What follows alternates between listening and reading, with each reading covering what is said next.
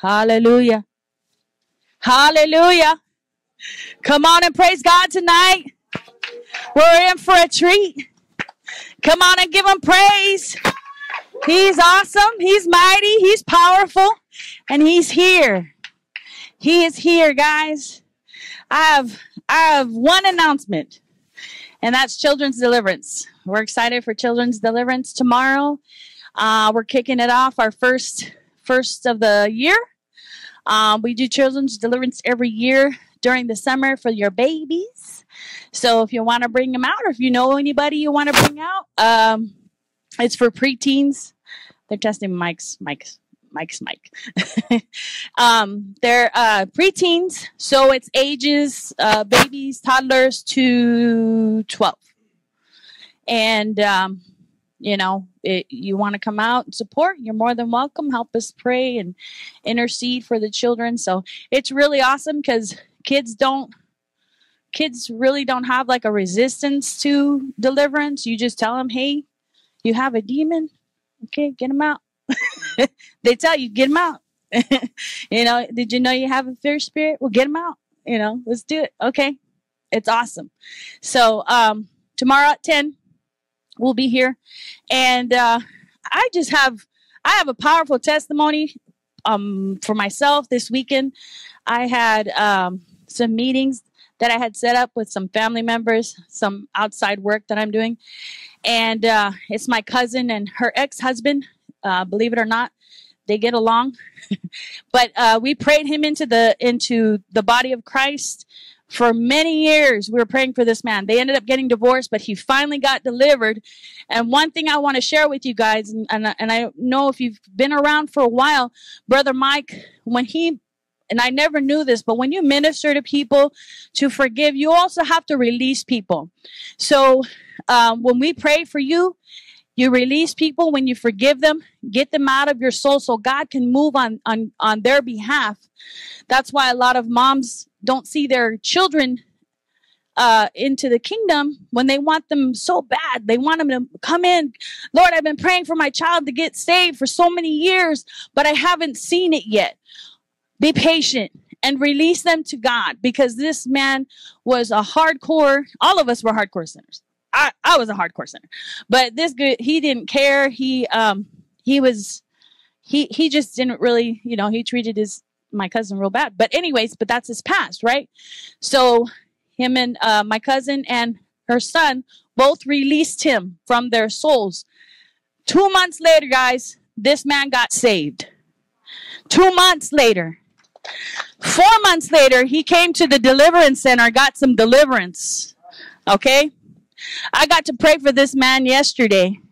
And I use something that Brother Mike uses, and I love this because I never used it before, but he'll pray for people, which is true. God wants to heal us, right? He loves us so much. He wants to heal us. He wants to save us. He wants to deliver us. So I, I, I let him know. I said, God wants to heal you because he has a really bad back, deteriorating bones in his back. I said, God wants to heal your back, Brother Mario. So I prayed for him. And sure as I'm talking to you right now, his, his back was healed. It was totally, completely healed. He goes, I can't even tell you the last time I was able to sit up. I can't, I used to roll out of bed, but he demonstrated how he would get out of bed and he was able to, you know, sit up. I can't tell you the last time he told me. He was crying, just tears, just tears coming out of his eyes. I can't tell you the last time I've been able to do this. I can't tell you the last time I did that. So God is faithful. Um, he also healed my cousin because her back was uh, messed up, and uh, prayed for my sister who doesn't even really go to church. She believes in Jesus, but I said I want to pray for you. Let's let's go ahead and and let God heal your back because her back was crooked. And she goes, "Oh my God, what is this? My leg is shaking. Oh, this is weird. but he healed her. It was awesome. So I just want to praise God for that, give that testimony, and, and I hope that God will move on your behalf too. So, and just without further ado, Brother Mike.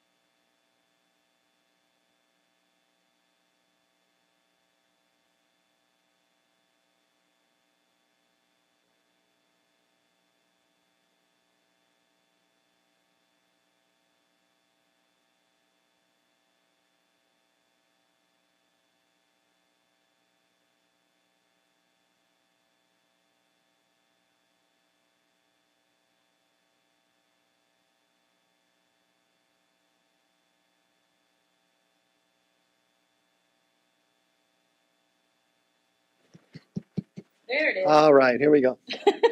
All right. Who in this uh, section right here has a bad back? Come on up here. How about in this section? Anybody here got a bad back? She just walked out. She just, who walked out? Maribel. Maribel. Hey, hey, can you go out and get Maribel? I can go. I don't know if my back's bad or old. What's wrong with her? How old are you? Come on now, you gotta guess. Forty-five. It's bad. Anybody here got a bad back? Who's got a bad back? You got one? What happened to your back? Work. What, lower or upper? Work. What? Uh, Work, same thing. Where, lower or upper? Middle. Middle. Oh, you're the same Mid-back? thing, Middle back. Right in this area? Yeah, That's exactly where. Where, right in this area? Right about up in here, just look. Right there? Shoulder blades. Right yeah, there? Like up in there. You got a, Lower back. Lower how'd you back. hurt yours? There you lower Ate too much. You eat too much? Yep. Yeah, sit down over there. We'll pray for you last. Anybody else? Where's that girl that was here with the bad back? Mary Ann. That girl. Oh, he went to get her? Okay. How'd you hurt your back? I have bulging discs. Oh, you got bulging discs? Yeah. And there's low back? Right. Okay. It's better though since I've been getting deliverance. Feels- Now, uh, some illnesses are related to physical injuries, trauma. Others are, are demons causing illnesses in the body. Correct? Right. And we have a whole, I wrote a little book on it in there, Atonement Healing, where I bifurcated the demonic illnesses and the non demonic illnesses. Right? So, the demonic ones you need deliverance on, and the uh, medical ones you need healing. Correct? And that's how Jesus did it. I'm just following what I read. That's all I ever do is follow what I read. Then I make stuff up along the way. right? Um, okay. What's your name, sir? And Robert Jennings. All right. Stand up here, Robert. Now, just, just close your eyes for a second, sir. And uh, just think for a second. Is there anything that uh, you're doing you know God doesn't approve of it? Just don't. I'm don't- sure of it, yeah. What'd you say? Yeah, I'm sure of it. You know what it is? Um, I'll just not doing Well- will a lot of the time. Like things I feel like I should do that I don't do. Uh, some would say maybe looking at the women because they're very pretty sometimes. Maybe you know just beautiful. I don't know something to say about that. I just look at them because they're pretty and stuff. They're nice looking. Okay. Would you be willing to turn that over to the Lord and repent of that tonight? That's a Oh yeah, common sin almost 100% of Christians have. yeah. He, he's not a bad person, Mhm. are you? Try not to be. And you want to serve the Lord, don't you? Yeah. All right. So, right now, in the name of Jesus, you're going to just repent. Repent, Oh Jesus. Sorry that I was deliberately committing sins of omission, Sin because of mission. and uh, I've been doing things I shouldn't do, and I apologize to you for it. Apologize to you for it. All right. Me? You ready? Uh, yeah, I All got. right, now close your eye. Tendonitis of years too. You got what in your ears? I got tendonitis How long you had that? Huh? How long have you had the tendonitis? about ten years. What triggered that? Uh, I was in the basement. We were taking out lockers underneath the, the place, and uh, bam! I hit. I was there when I came out. My ears were just ringing from the, the smacking the hammers and taking them out. There's a work-related injury. Yeah, it was. Uh, You file a workers' comp claim. nah, because the place I was at, I couldn't do it. Okay. Now just take a big breath and relax, sir. Just close your eyes there. Okay. Now it's this area right in here, right? Yeah, there. My I got my neck. I got well, that's arthritis in my neck and my lower back. Are you sure you repented? So I repent, Lord. repent my sins, things I've done. I've done a lot of other things. I can't probably remember a lot of things. I repent of the things I can't remember, the things I've done. All right. Lord Jesus. Amen. Thank you, Lord. You're a very loved person, sir. Thank you, Jesus. Wow.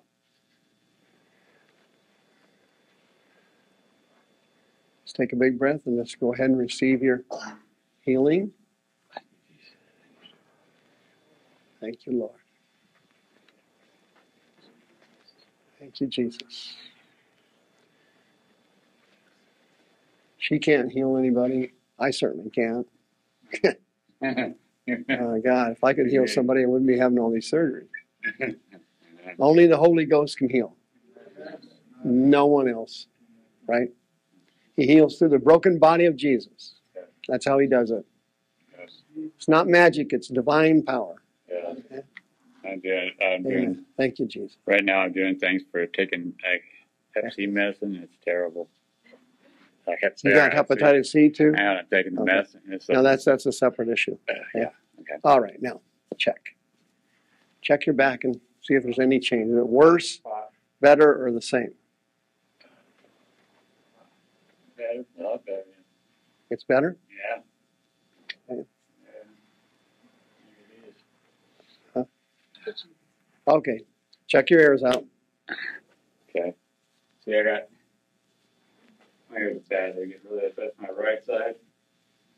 I got cut in there because voices and stuff, and certain tones of voices, and that's made it really bad. Like you know, I love hearing music, but like I can't go into a place where there's loud music, you know. And I love and worship so much, but I can't enjoy it because a lot of the people's voices are like, oh, especially in the spirit movies, people want to go high with the voices and stuff.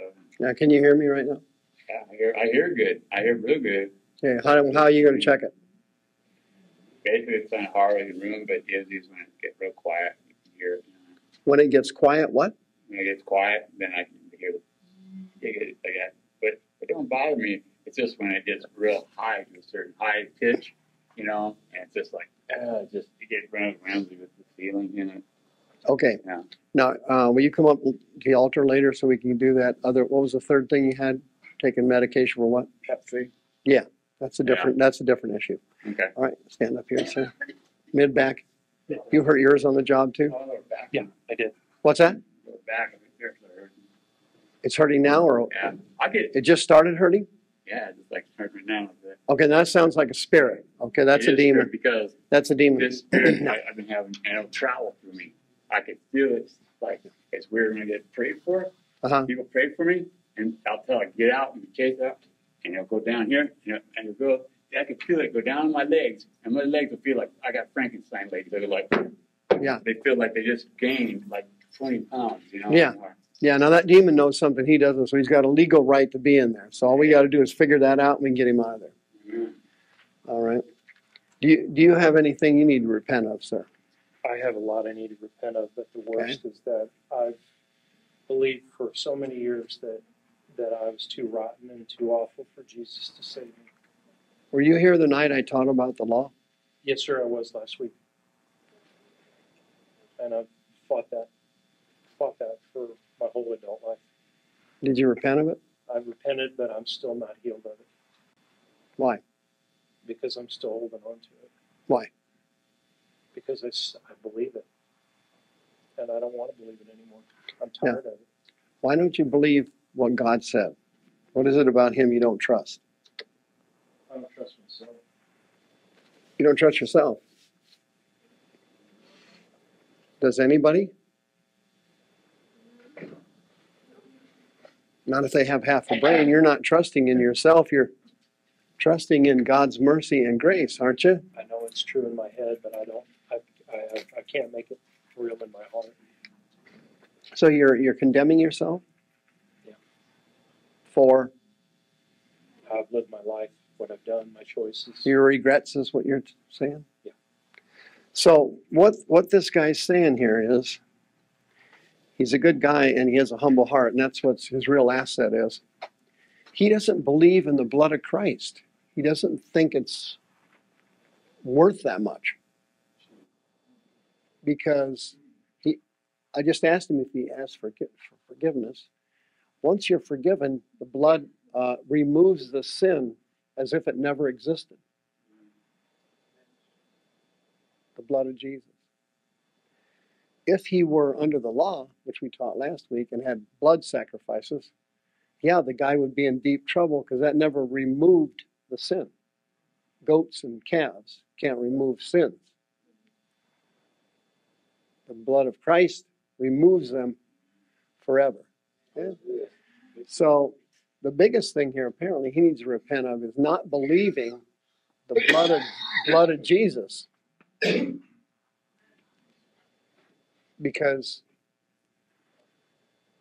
he's talking about his past and the devil keeps bringing up your past to you and if you let him that will ruin your future. That's why he brings up your past so he can trash your future. He's smarter than we are. Would you be willing to repent of that sir? Go ahead I repented that Jesus, I put that spirit down.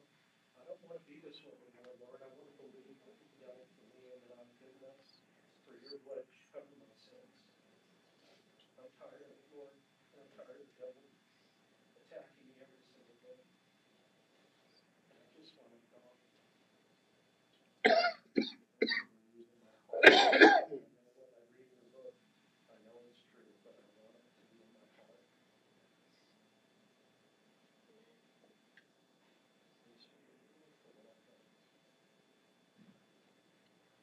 That sounded sincere. Did he forgive you? Well then it doesn't exist anymore. Is that true? It's all gone you you didn't have a, a rotten past. That was all nailed to the cross. Everybody has a rotten past. I got thousands of things i would do over if i had a chance. But i just nailed them to the cross and moved forward right? We do the apostle paul thing here don't we? We forget those things which are behind us and we reach for those things that are before us we reach for the prize of the high calling of God in Christ Jesus. Right? We want to be like Brother Paul and be found in Him, not having our own righteousness, which is of the law, but the righteousness of God through faith in Christ. That's what we're after, right? We're following Him as He follows Christ, so to speak, as He worded it one time, right? Right? Did you do that, sir? Yes, I did. Okay. That should do it then. Stand right there. Lord, your your son forgave uh, himself. He repented of not believing that the blood of Jesus wipes out sins. That's the essence of Christianity, isn't it? I mean, Father, that's got to be the bullseye. The precious blood of Christ, the greatest spiritual commodity, so to speak, in the universe. The only thing that can save us is the blood that Jesus shed. When that covers our sins, our sins disappear. They don't exist anymore. I was I am no longer an adulterer. You're no longer an addict. Amen. You're no longer a slut. You're no longer an idiot. You're no longer a criminal. You're no longer a heathen. You're no longer an alcoholic. This isn't an AA meeting. You're not a recovering alcoholic. You get rid of the demons. You're an ex alcoholic. Recovering alcoholics for NA. We don't do that NA here. They're good people, though. Thank you, Jesus. This guy repented. Amen. So he's. Check out your back. Move around. Worse, better, or same? It's better? I You touched it and you're clean now. This guy's sinless. I love you. Thank you, Mother. Yep. What's your story, ma'am? Um, What do you need to repent of? I need to repent of things I did in my past. How that's my children. How you what? The things I did in my past, I was, I did yo- Oh, I you hurt your kids Well, no, I did yoga. I brought, I opened up a lot of spiritual doors. and they hurt your kids? Yes, my kids are suffering because of it. They're, they're what? They're suffering because of it. Okay. Did you already ask for forgiveness for that? Um, I've been working on it last week. This is all new. You've been what? working on it the last week. Oh, this okay, is new to me. Oh, we don't do that, ma'am. Raise your hands. Close your eyes there. There you go. We don't work on the blood of Jesus. It's it works instantaneously when the person repents. When there's no working involved, it's all grace and mercy. That's right. Dear Jesus, I'm sorry for what I've done to my kids, and I ask you to forgive me. I was wrong. I hurt them and I hurt you. I'm asking you to wash me in the blood and forgive me.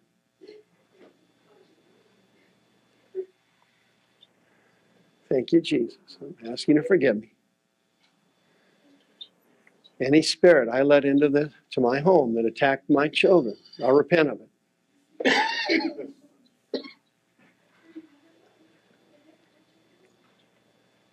I'm asking you to forgive me. I love you, Lord. Thank you for your healing power. I know you're going to deliver my kids. When I listen to the seminar tonight, I'm sure you're going to deliver them. Thank you, Jesus. Now, that was a sincere prayer, wasn't it? You weren't fooling around there, were you? Fantastic. when it comes to my kids. No, of course not. How about you? Were you fooling around when it comes to you? I'm trying not to. Oh, here, go ahead and repent of it. Here we go. Dear Jesus, I'm sorry I hold grudges against myself. That's self ought. That's a sin. That blocks healing. Self ought blocks healing. Ask that guy in the shirt. Ought blocks your healing. Now repent of it. Right now, there is no ought. I have no sin. Ought is uh, bad feelings about yourself. Yeah, I put my guilt on Jesus, my shame, and I let it go today. I am washed in the blood and I am sinless in the eyes of God. What other people think doesn't matter. Amen. How'd that go? Okay, where's the pain at again? Uh, my upper. Up here? Clear up to here? Yeah. Why'd you hurt your neck? Oh gosh, I don't know. Why'd you hurt bad? Uh, car car accident. Yeah, car accident? Okay. Close your eyes, take a big breath and relax there. Okay. Just receive your healing. Here we go.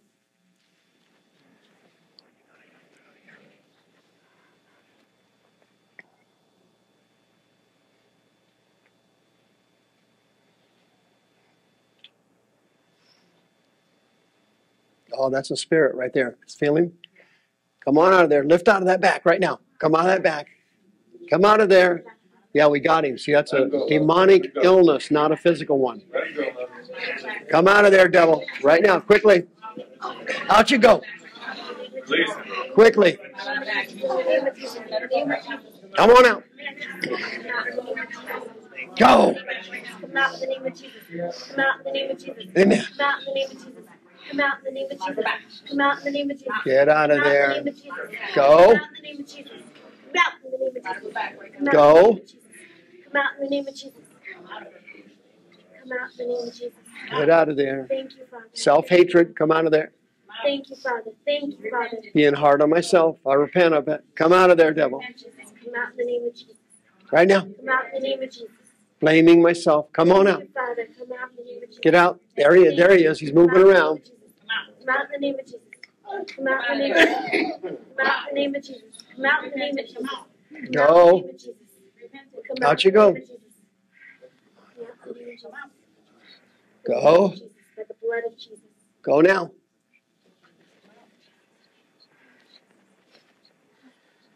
All right, check out your neck. Move your head around. Okay. Check out your back. What? Check out your upper back there.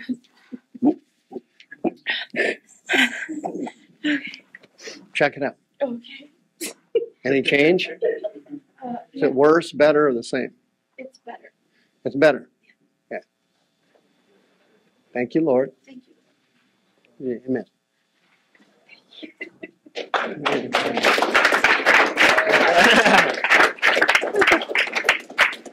All right, we we're canceling the seminar tonight. Uh, uh, sir, you stand for the altar call? You? Yes. Okay, good.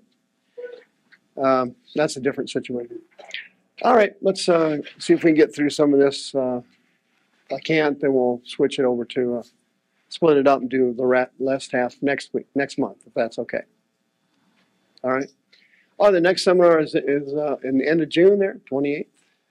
And uh, here's all the radio programs. I'm on seven days a week here. You can catch all the radio programs on the website 24 hours a day. Set another record last week on uh, secular darkskyradio.com. I'm on there every night at 9 o'clock. I had 48,000 listeners, which was the most I've ever had. So it's, it's creeping up there. Trying to get up, I'm trying to get to the secular people. I used to be a secular person. Anybody here shop at Amazon? Oh, we got some high rollers here. We'll just put in our charity name. Go to Smile Amazon, and they'll donate to our ministry uh, 1.2% of whatever you buy. Okay. So if you rich people go to Amazon, put that in, go to Smile Amazon, they'll donate money to us for free. Tonight's teaching's on uh, House of Healing AZ, our YouTube teaching channel. Please uh, remember to get the miracle list from me for self deliverance at home. I'll uh, send it right to you if you send me an email. You can donate on the website, of course. Those are the three books I wrote one on healing, one on curing mental illnesses, and the other one on the devil. Our Thursday night healing room is booming. Uh, I guess last night was our best service from what I've told. We may have to open the whole thing up here and move it into the main sanctuary now. Having so many people come, lots of deliverances and healing. Brother Rick's killing it. And uh, our mental illness healing class is also at 7 o'clock. That's in the small sanctuaries. I mistyped that. I, sorry about that. I'm on uh, talkamericaradio.us on June 20th. That's a nationwide broadcast. Looking forward to that. These are the Bible versions I recommend because they use the received text and uh, they won't have verses out of your Bible, missing out of your Bible if you use these versions. The other versions all have different gaps because they're using different Greek texts. This is the best Bible I've ever seen in terms of translation, translating from the Greek, the KJ3 Bible. I do sell it in the uh, bookstore. I use the King James Bible. I'm an older person, so I like some thees and thous. Most people do not like thees and thous. But I'm fine with them. I can read past them. Thees and thou. It's like a foreign language. Pistis. When I left my secular counseling career, I had all kinds of questions of, for God. All kinds of things I did not understand. I came out of the Assembly of God religion. And the Assemblies of God religions is a pretty good church denomination. They're the largest Pentecostal denomination in the United States. And they uh, believe in, you know, the basics. They do believe in moving in the spirit, healing, speaking in tongues. Deliverance is very hit and miss over there, uh, mostly miss. They're really weak on it. But I ministered in the Assemblies of God as a layperson. And I had all kinds of questions about Christianity and how this whole system worked and why it didn't work. Why doesn't Christianity work very well? Uh, why does it break down so easy? Uh, we had people dying in our church that hundreds of people were praying for. I never understood that. Uh, we had people backsliding all the time, and never understood that. Um, one person would get healed, then the next one wouldn't get healed. Then somebody else would get healed, and then these people over here didn't get healed. And it drove me nuts. And I had all these all these oddities, spiritual oddities going on. I don't know if any of you have ever been in a church and wondered these things. Maybe it's just me, but I would question God all the time. Not accusing him of stuff, but saying, I don't understand. You know, why is this person acting like that? Why are they saying that? Why did the Holy Spirit do that to that person? Oh, look, this person here seems to live a perfect holy life. Look at that guy over there. He he lives like a heathen. He got healed. She didn't. Why does a person who appears to be a good person not healed, and the, some person who's a semi scumbag does get healed? Um, I did some street ministry when I was there, and a street, a guy living on the street got healed right on the spot one night. And I was like, what in the world? We got these people that have been in church for years, and they're not healed. And I go out with a couple other people and pray for a guy on the street, and they're instantly healed. So I had all these oddities floating around in my head. Looks like I'm the only odd person here, but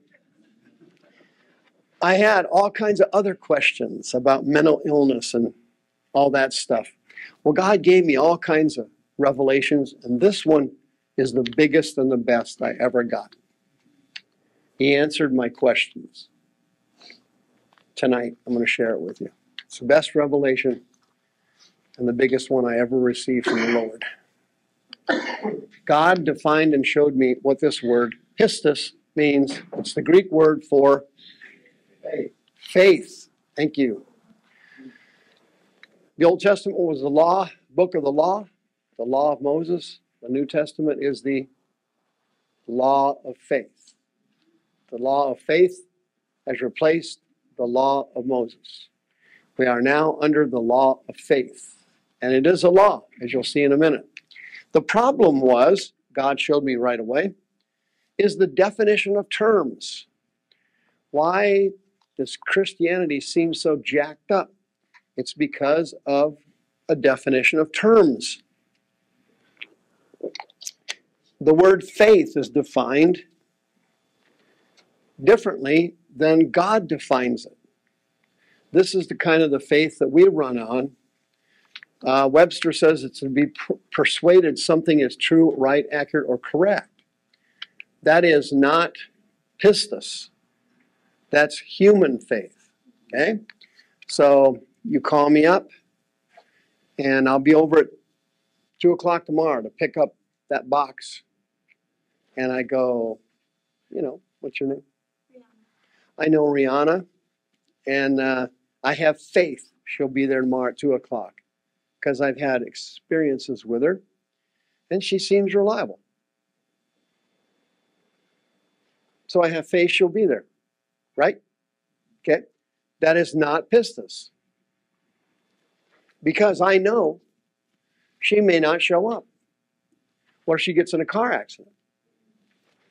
What if she has a heart attack? What if she gets married?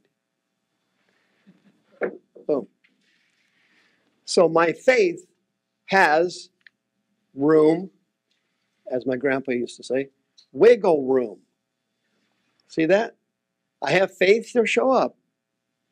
Faith, F A I T H in English, but there's some wiggle room there. She may not be there at 2 o'clock to pick that box up. Right? That's the kind of faith that people use with God's word, and that's why Christianity doesn't work. I never knew that until I got this revelation. Faith is an English noun, translating the Greek word pistis. Correct. It's a noun, right? Everybody knows a noun is different from a verb. Of course. Christianity in our churches base Christianity on faith, not pistis. Pistis always works, faith doesn't. Okay? You can vote for a politician and you have faith they'll get in there and do a good job, and guess what happens? They don't. Thank you, sir. I see you're familiar with how the system works. Well, I had faith in him. Well, no. Human faith allows wiggle room. See? It's not, I guess, absolute faith. It allows a margin of error. Pistis doesn't. What does all this mean, Mike? Well, I'll get to it here in just a second. Pistis is a noun, and it's defined as having zero doubt and zero unbelief. With her, I had some doubt. I had car accident doubt. I had maybe she got sick. Maybe uh, she had, maybe she ate at Gagaberto's the night before and woke up with Montezuma's blowout. I had I had wiggle room in my faith in her. Correct? Because I knew there was a chance she wouldn't show. Not that it's going to be her fault. I'm not blaming her for anything, but I have some doubt. There's a possibility. There's some wiggle room. There's a chance she may not show up. That is not Bible faith. That's not pistis. Pistuo is the verb for pistis. Pistuo is an action verb word, correct? Pistis is usually defined as uh, translated as faith. Pistuo is usually translated to believe. Faith, noun, believe, verb. They're two different words, even though they're in the same family. Correct? Okay. One is connected to the other. You cannot pistuo believe if you do not have pistis faith. You can have pistis faith and not believe. Amen. Hallelujah. A person can have faith, but not step out on that faith. They have the option through free will to do nothing and stand there with like a dork. yeah. I used to be a dork, but I got cooled. I'm cool now. Yeah. Who's with me? Who's following me? Pistis is boom. Pistuo is the action of pistis. It's faith in action. Pistis doesn't bring the miracle. Pistuo does. But pistis is the foundation for the miracle. Am I helping anybody? Yeah. At the Assemblies of God church when I was in for so many years, I saw this thing playing out and didn't know what it was. I was frustrated, tired, confused. Why is this person saved for 20 years appear to have oodles of faith, quoting the Bible by the yard, and can't get out of the chair? Right, right. Is anybody listening to me? On. Why does somebody who just got saved getting all these blessings? Is anybody? I didn't understand it until later. Romans 12. Every person who's born again, every single born again person, even a backslidden Christian, listen carefully, has what? Marizo. God divided the giant faith pie, pistis, and he gave a metron, a portion where we get our English word meter, to every born again believer. So when I had that man standing up here, I already knew he had faith. He came up here on his own volition, right? I knew that guy wasn't a heathen, an atheist, a Muslim. I knew he wasn't.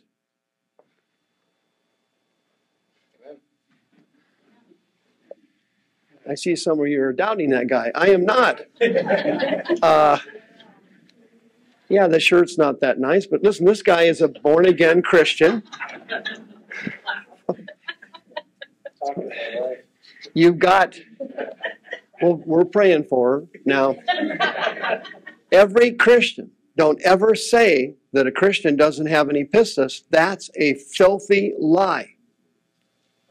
You may not be using your pistis. That's maybe a thousand percent true, and that is very common. In fact, it's 98% of Christians. They're not pistual using their pistis, but they still have it. You can have gifts and blessings and faith from God and not use them, Right, Amen. come on, preaching. right? Yes, sir. This is all basically common sense. Yes, sir. Now, pistis, pistis is defined as what? No, no. You don't have any of that. Okay? When the green guy came up here, you notice when I was talking to him and he was talking to me, he was revealing that he had,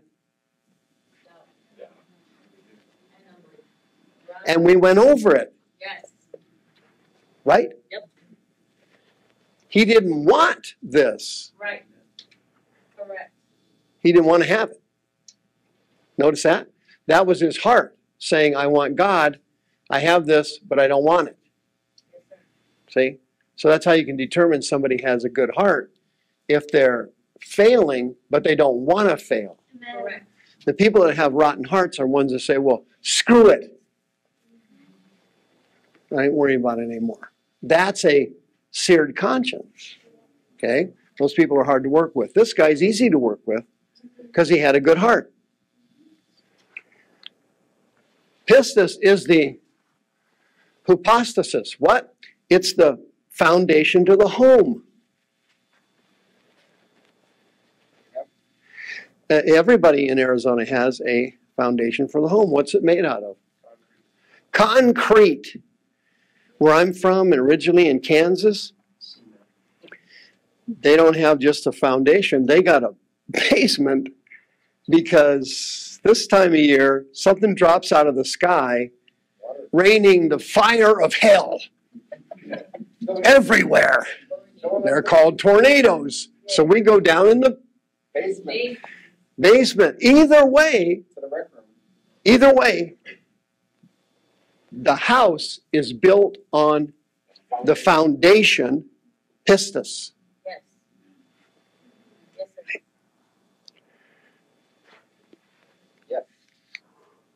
It is the foundation of things you're hoping for, and it is the evidence, elenkos, the proof of things not seen.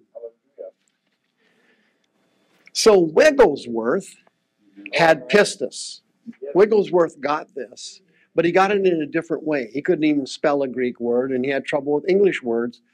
God reveals things to people differently. I got it through the Greek text. You might got it some other way. It's just as valid. God doesn't use the same method on everybody, right? Everybody's different. I'm different. You're different, but it's all valid. Wigglesworth got this and was an expert on it, and they called him the Apostle of Pistis. That was his nickname, right? So when Wigglesworth went to pray for that girl that was up here, he would have just walked up to her and said, What's wrong with you? That was his typical approach. Very blunt. See? I use a gentle, loving, sweet approach. Wiggles, what's your problem? You got I got a bad neck. Gah! Boom! They stand up, their neck's healed. Why? Wigglesworth had it- the foundation of pistis. He knew that God's word was a 100% true and it could be relied on under any circumstances. When I had the green guy up here, he didn't have that foundation. He had doubts mixed in with his pistis. He had pistis because he came up here. Right. But his pistis was ineffective, leaving him sick because he had mixed it with doubts. Right.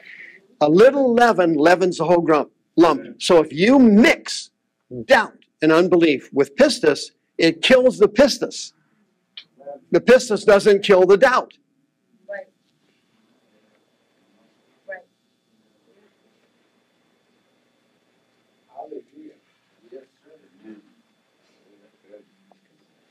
So Wigglesworth, the proof, he already had it. The woman was going to be healed before he prayed for her.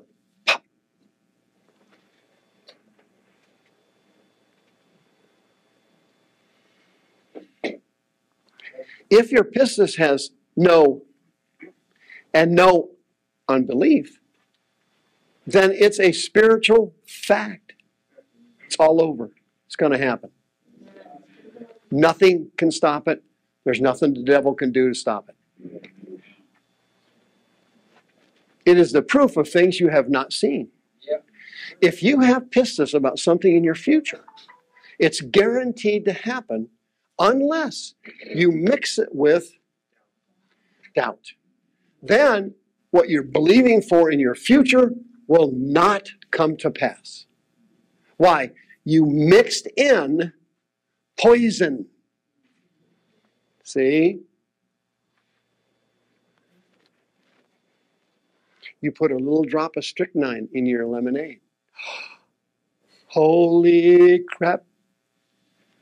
I'm not taking one sip of that or I'm dead. One little strychnine doubt ruins the whole lump.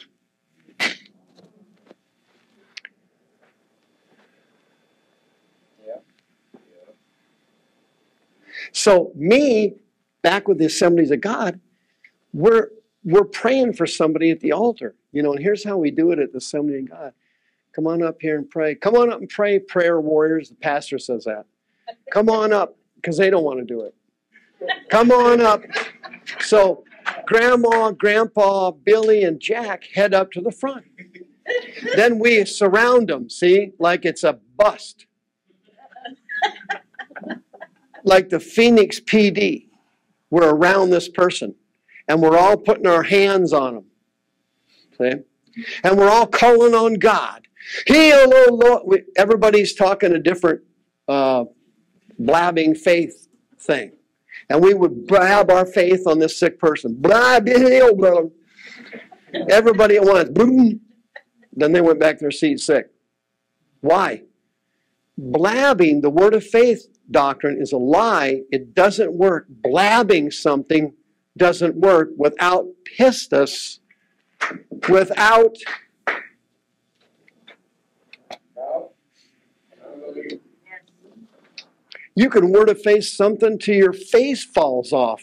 It's useless. We were blabbing away. Be healed in the name of Jesus. One guy quoting scripture by the yard. Boom, boom, boom, boom, boom. I mean, the devil. We thought we were killing the devil. He was sitting there laughing at us because he knows, demons know, whether you've got any of those two things. They sense it and they know the Holy Ghost isn't going to do it. Demons believe God more than Christians do. Come on, sorry. They know He's real. Everyone sitting down here. They only fear one person the Spirit of the Lord. Because He is the pistuo of the Godhead. He gets things done.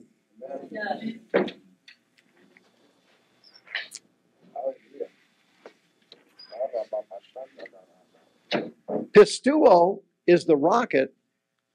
Pistis is the, the foundation it sits on, right? You can't have one without the other.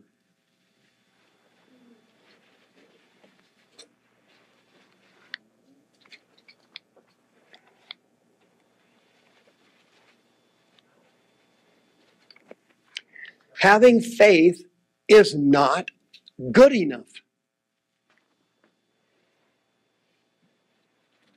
Faith has to be exercised to generate a miracle from God. If the person's sick and they have contamination, the miracle stops right there. The demons know that, and so they lie to you by telling you all kinds of false doctrines that other churches believe. God doesn't heal anymore. Miracles disappeared with the apostles. Uh, but these things don't happen anymore. We got the Bible. We don't need it. There's all kinds of, of of crocodile crap everywhere. But it's all put out by demons because of this teaching people don't understand. I didn't understand it and was frustrated for years. You can see how frustrated I was, can't you? Working with church people. Church people drive you to drink. Amen. Yeah, I went back a couple times drinking. Yes, sir. Two things will drive you to drink bad marriage and church people. Without pistis, check it out.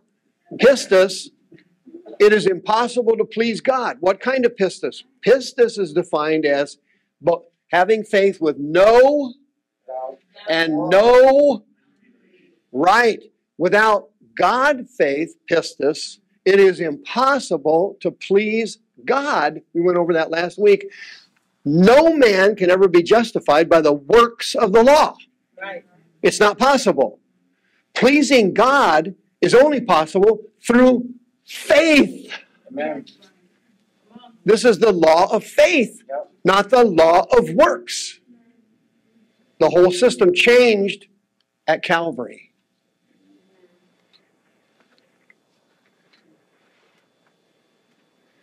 He that comes to God must what? Have faith? No. Pistuo. You must believe. You must step out on your faith. Are you reading this correctly? Yes. Think, think about it here. Without faith, pistis, noun, it is impossible to please God because you must come to God, verb, pistuo. You come, you do something, believing that He is a rewarder, verb, of those who what? Exitao. It means to aggressively pursue. See? Casual Christians don't get any miracles. Their lives never get healed. Their bodies don't get healed. Their kids never get saved. Nothing ever happens. Why? Doubt and unbelief has caused them to lose their zeal. Zatao is the Greek word where we get our English word zeal, to have zeal for something. See? It's a Tony Robbins syndrome. Pow! See, he's got zeal. See, he's selling books and uh, sexually harassing women. He's very zealous about it. He's zealous about it. Come on, honey, drop your drawers. Buy a book first. See, you sell your books, then you drop them. Is anybody listening? Amen. This is God's word, and this this is not me. It's impossible to please God through works. It can only be done through pistis, believing with no doubts and no unbelief that I will reward you if you diligently, aggressively pursue me. Hallelujah. Amen. Yes.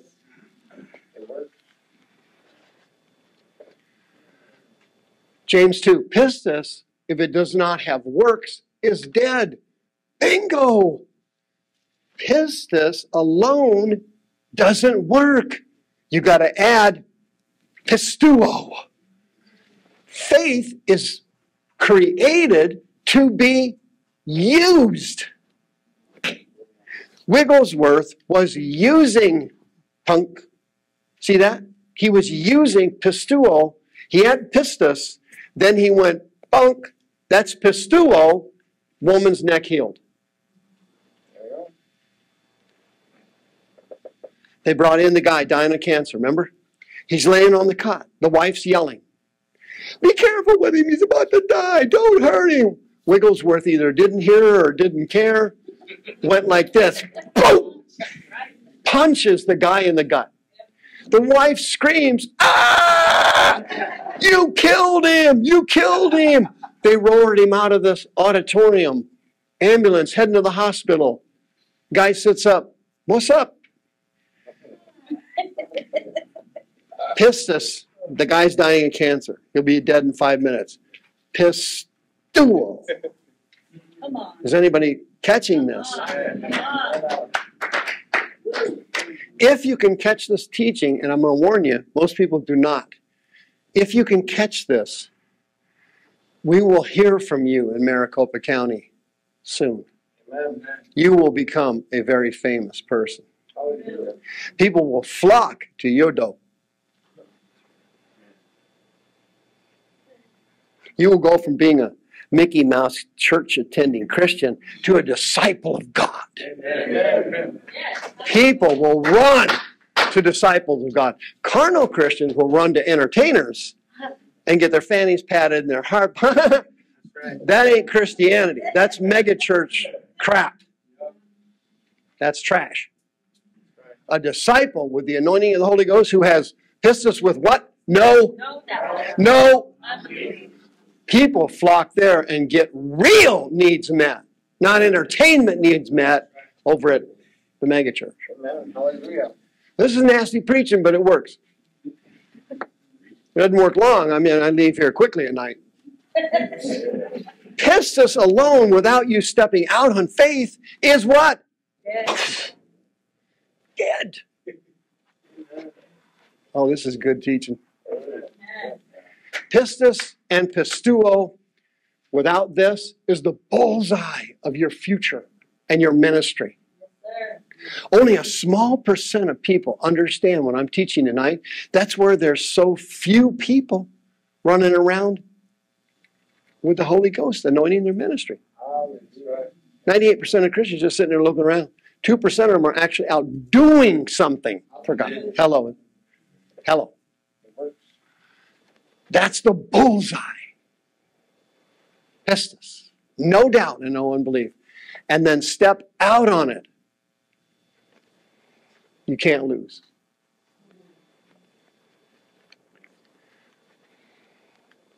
Now, the Bible, the Holy Ghost wrote the Bible. He used humans to do it. Okay? Uh, the Spirit of the Lord actually wrote it through the people. Okay? So, he's the boss. And he painstakingly went over this concept to pound it into our thick skulls. And this is what he did. when I discovered this information, I like died. Have the faith of God is the definition the Spirit of the Lord gave to pistis. Mark chapter 11. Master, behold the fig tree you cursed yesterday. It's withered away.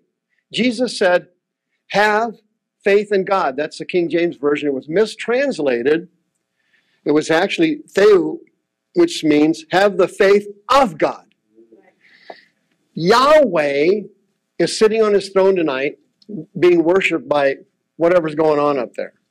I have no idea. I've never been there. He's not standing here listening to me hold a seminar. You know. But Yahweh, when he says something, he has zero doubt and zero unbelief.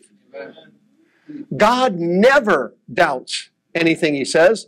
When he speaks something, that's it. Eternity receives it as he spoke it. Am I right? God does not sit on his throne up there, wishy washy, hmm, I don't know what. Are you sure? Maybe I need some advice. Can I get some counseling from Mike Smith? Not likely. No doubt and no unbelief is what? God faith. God faith is what? Pistis. Hallelujah. Master, look what you did to the fig tree. Well, Jesus was exercising his pistis and then he pistuo the fig tree. There's no fruit on this fig tree, you piece of crap. Die! That's pistuo. Die! Hello. Amen. See him? Jesus had the pistis for the fig tree. Okay? He goes over there like I went over to her. He says, I believe there's uh, figs on this tree. He looks through the tree, there's no figs. It's supposed to have figs that time of season. This fig tree is your typical born again Christian, a screw up. The tree is supposed to be coughing up fruit, and typical Christians sit there and produce no spiritual fruit.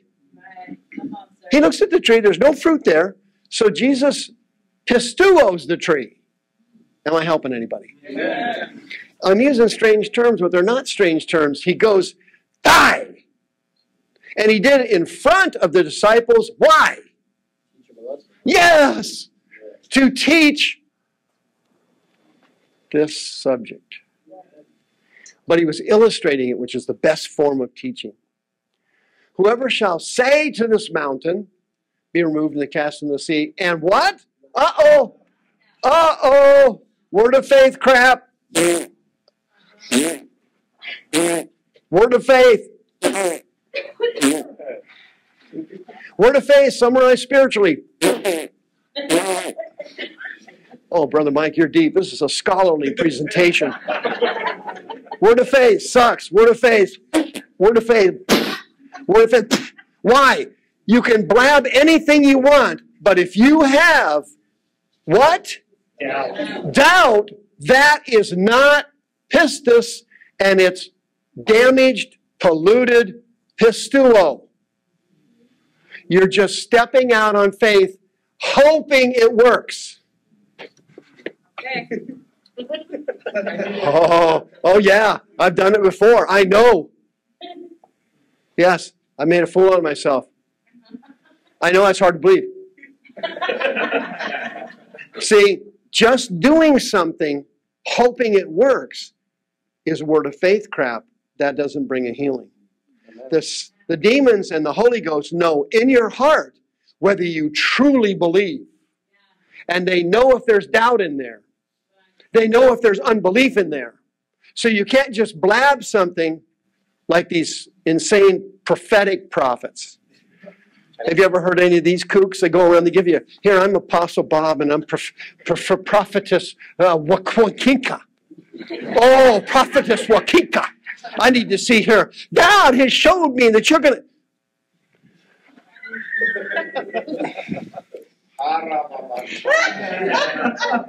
This crap has invaded the church and it's killing Christians. These fake apostles and prophetesses, these people are garbage. Yeah, that's right. We're deleting this out of YouTube. If you have pistis, true pistis, there's no doubt or unbelief. You don't have to hype something. You don't have to give them a sales pitch. You don't have to Tony Robbins some gal. You just speak the word only, and it happens. Is somebody listening to me? The demons know whether you've got some doubt in there, and they'll call you on it. Ooh, they'll make a dad blame fool out of you. I know they've done it to me. See, when I was in the Assembly of God thing, I had the Word of Faith thing in here. I had to get exercise that out because I used to do stuff and just take a shot at it. Yeah, I would do it. I would. I, I looked at the story in the Bible. I didn't really get it like this, but I thought, well, well I'll try that. Whack! Why'd you hit me? oh boy, my ministry sucks. Listen, if pistis and faith is no doubts and no unbelief. Pistuo is stepping out on pistis, not on hopes and dreams. Hello.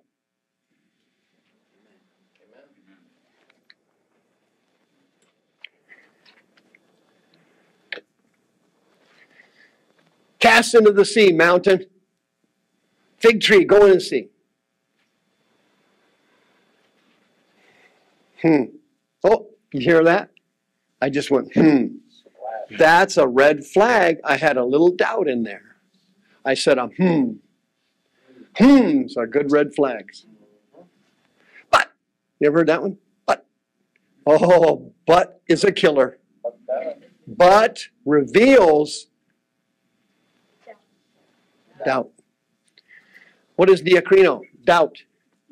It's wondering, trying to decide between two things. Look at these Costco tissues. I get these at Costco. You buy them in big boxes.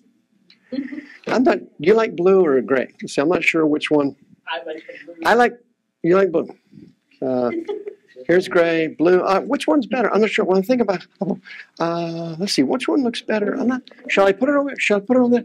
What am I doing? What am I doing right now? What am I doing? I, I am. dia- Crino, I'm fluctuating between two options. See? Faith has no fluctuation. It's rock solid. Period. And shall not do what? Fluctuate between two subjects. Amen. That's good.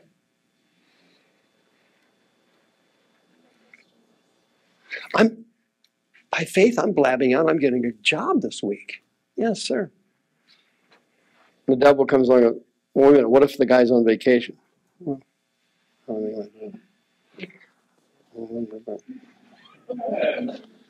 Hmm. Now he's got me going. Uh-huh. No job now. I'm screwed. Why? I allowed the demons to put in Diacrino. I'm vacillating now. As soon as you vacillate, to use a to use a religious term, you is screwed.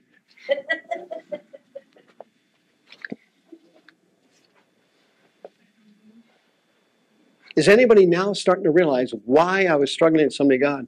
These people weren't healed. These people were. What's going on here? You see why I had all these questions?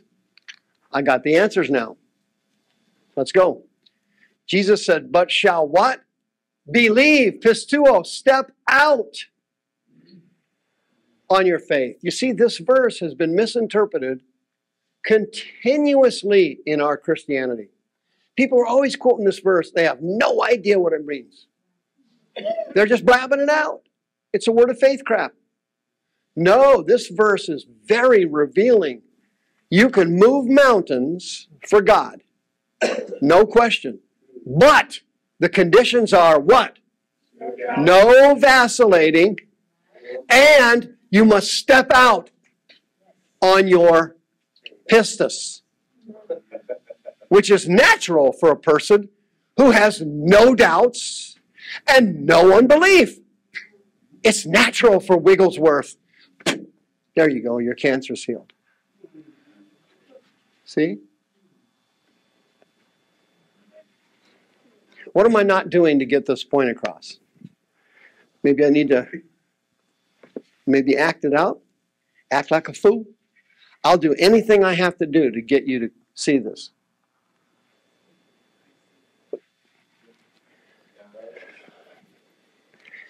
Just speaking it doesn't do anything unless you've got no doubts and no unbelief and you speak it out. Then it has to happen. Because saying it is pistuo. You're speaking it out. Jesus, just speak the word only, and my son will be healed. The centurion took off and went home without even another thought. What was he doing there? The, the centurion showed up with pure pistis without doubt and unbelief. He then came to Jesus, pistuo. He was acting out his faith. And Jesus told him, He's healed. No problem. He turns around and leaves. Right. What a great story. Illustrating what? Pistis and pistuo, doubt and unbelief, these are the key elements in your Christian life. Jesus said, whatever you desire, when you pray, what? Believe, pistuo, step out on your faith, okay, and you'll receive them.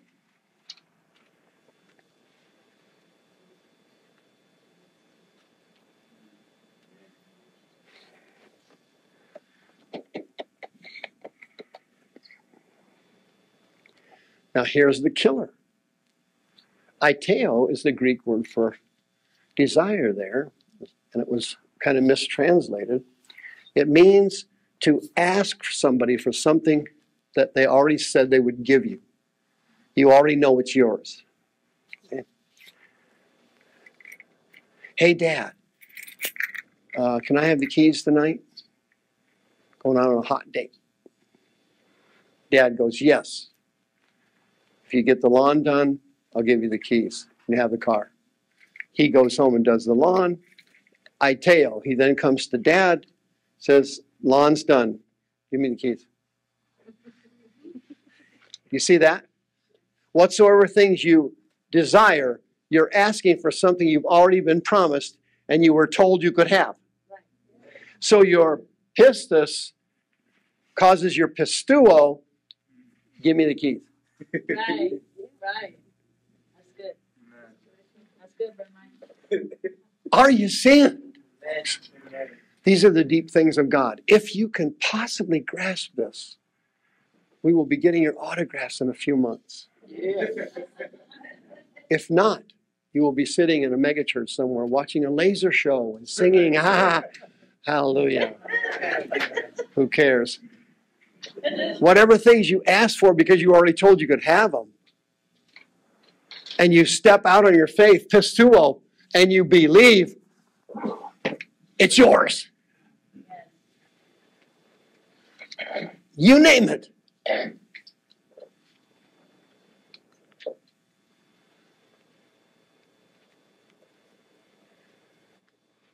There's the fig tree. That's the one that got torched. You can move mountains with pistis because you have no and no.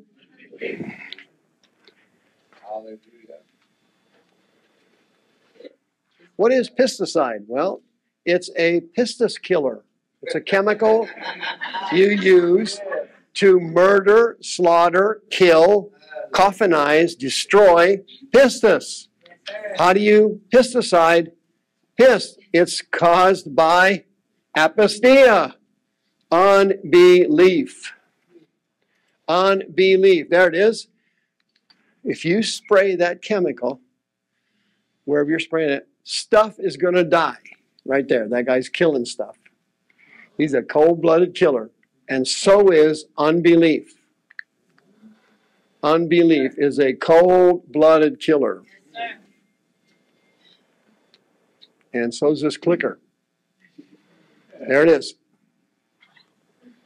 There it isn't. All right. What is apostia? What? Oh, come on, man. You got to be kidding. But, huh? What? Really? I missed that one, darn it. Here's what I had the green guy here talking about his sins. What was he doing there? He had unbelief in what God says is true.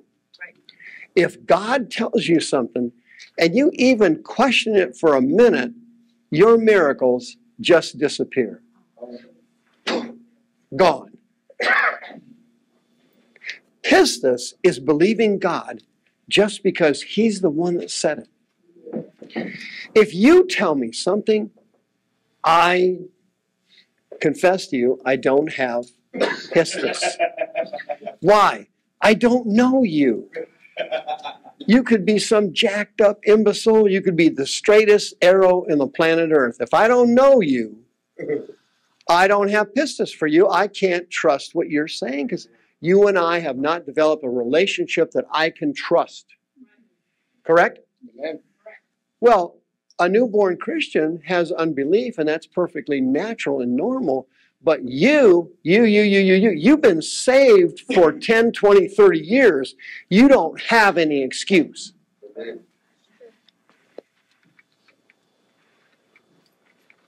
So if you doubt God, you can kiss every prayer request goodbye. Because you know better. You weren't saved two days ago.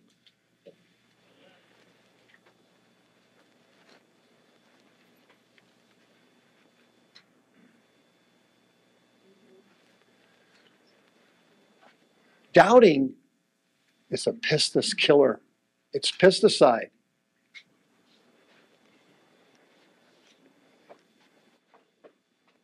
Pure pistis has nothing in it. See that? It's pure. If you have pistis, and you can have it, everybody, every born again Christian has it. God gave it to you when you got born again.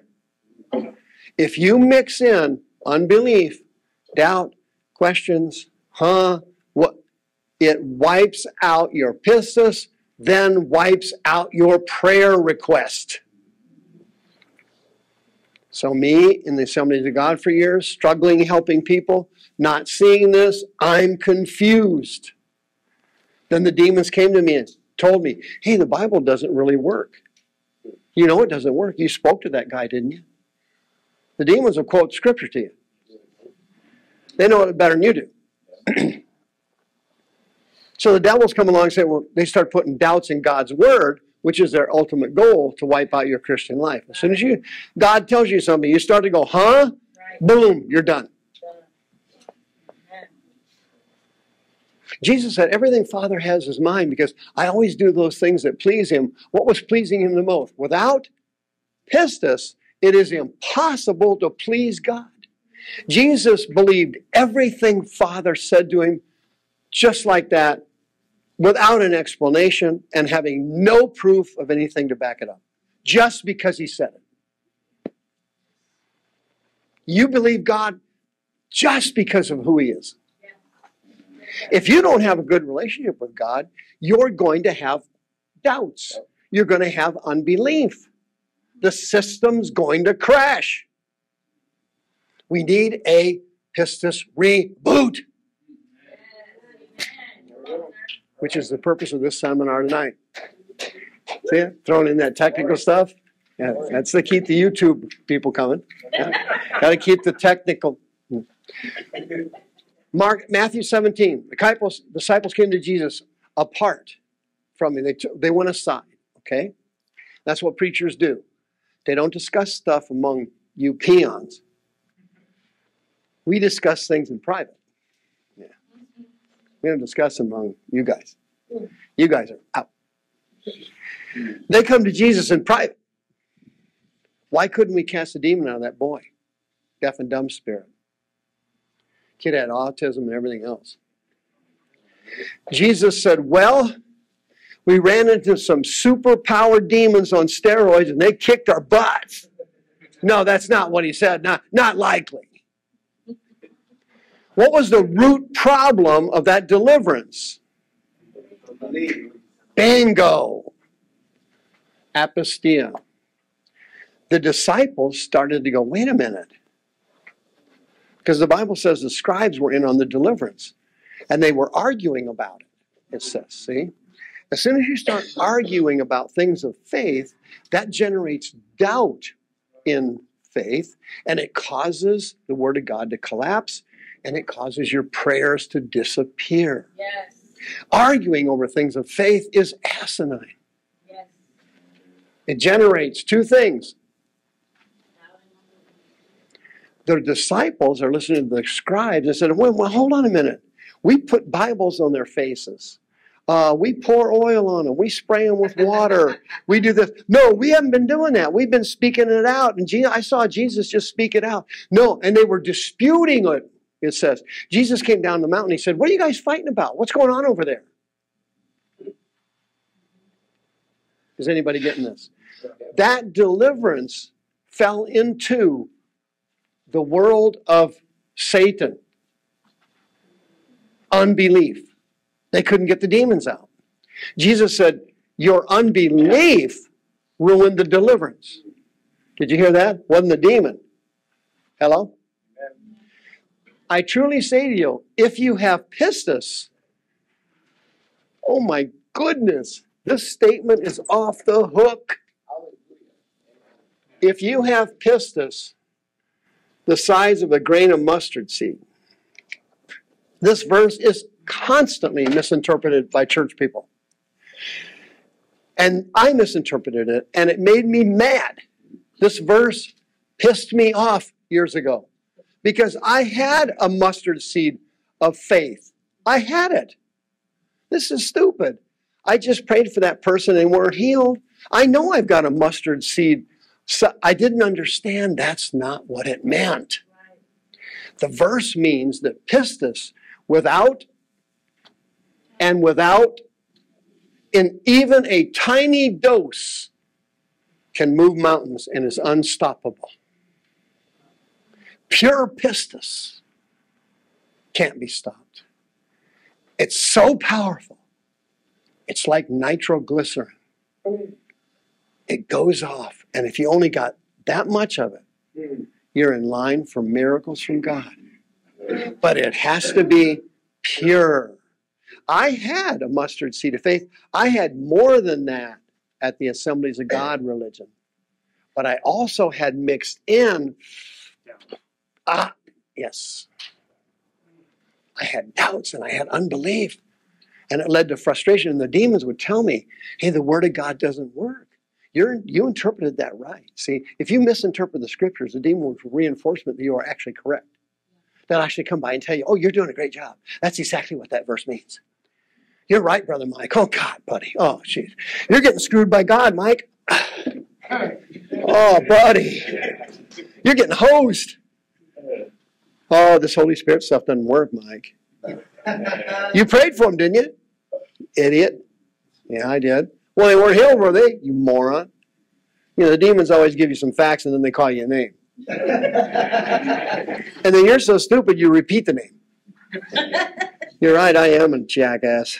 Oh, God, what an idiot. I'm, I'm a moron. Pretty soon now you're trashing yourself. It's true. You know, Mike, why do you teach like this? Because this is how people are. Duh. Listen, the devil said to me, Mike, that's what the verse says. Read it. You know, the demons love the King James Bible. They like all the Bibles. They can quote from every one of them.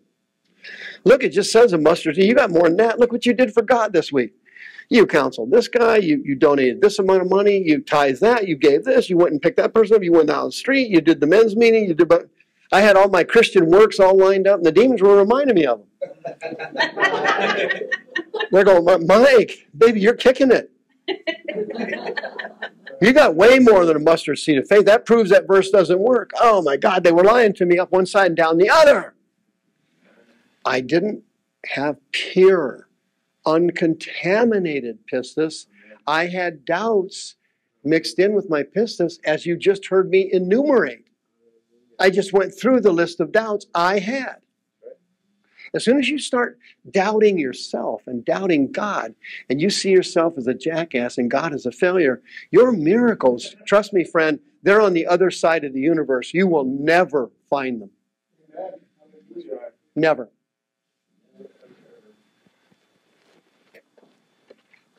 Least I'm helping the YouTube people. Glory. Now listen, nothing is impossible to you. What? The devil got me on that one. He would quote that verse to me. That's not true, is it, Mike? You moron. You just pray. It didn't happen. I mean, you're not asking for God to move a mountain for you, are you? You just wanted that person's foot healed. What's the problem, Mike? I know what it is. God's a screw up, and you're screw up B. No, I wasn't seeing the text properly interpreted. Brother Mike was misinterpreting the text as almost all Christians do. Nothing is impossible to you if you have pistis, even if it's that small, with no and no mixed in, is what he's saying.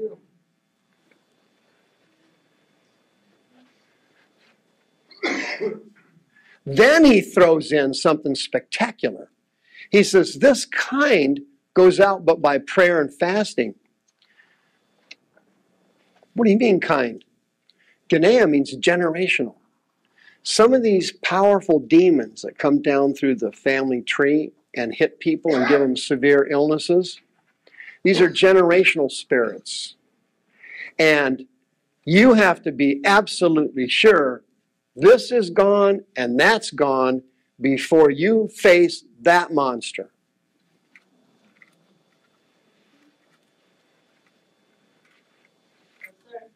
Have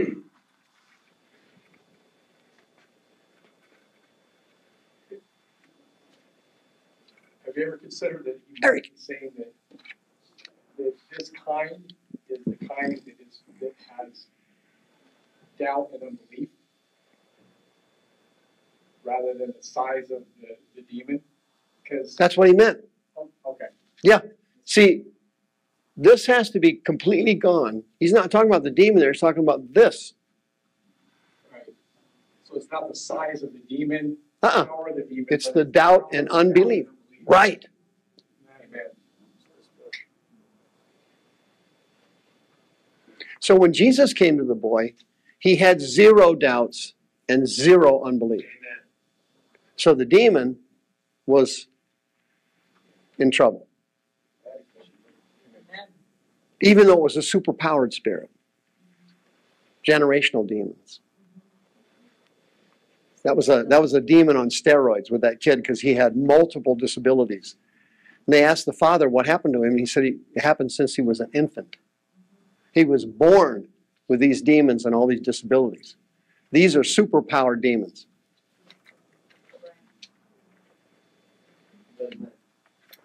So how does prayer and fasting help our doubt and our unbelief? It removes it. Hmm, really? Yes. Sorry. It removes it. And it has to be removed if you want a miracle from God. Amen. Can I ask something? Ma'am, Why did you tell them by prayer and fasting? because they had doubt. The, the disciples had blown the, the exorcism. They screwed up. They were arguing with the scribes. Okay? The scribes didn't have any faith at all. They just did things by, by rote. You know, almost Catholicism. Here's what we do you, you have a textbook, the liturgy, and you look through there and you see how to do a deliverance. But no. They had doubt and they had unbelief, and the child didn't get healed. So when facing at that kind of spirit, they had to make sure this was removed to beat them the next time. Because some demons are super powered, some are just powerful. There's varying levels of Ephesians 6, correct? Yes, sir. Eric the Red, But we have, we have authority over them, no matter how, how powerful they are, as long as If- don't have doubt and unbelief. th- thank you. Perfect. I couldn't have said it better myself. So I keep Eric- Deliverance should you fast? What's that?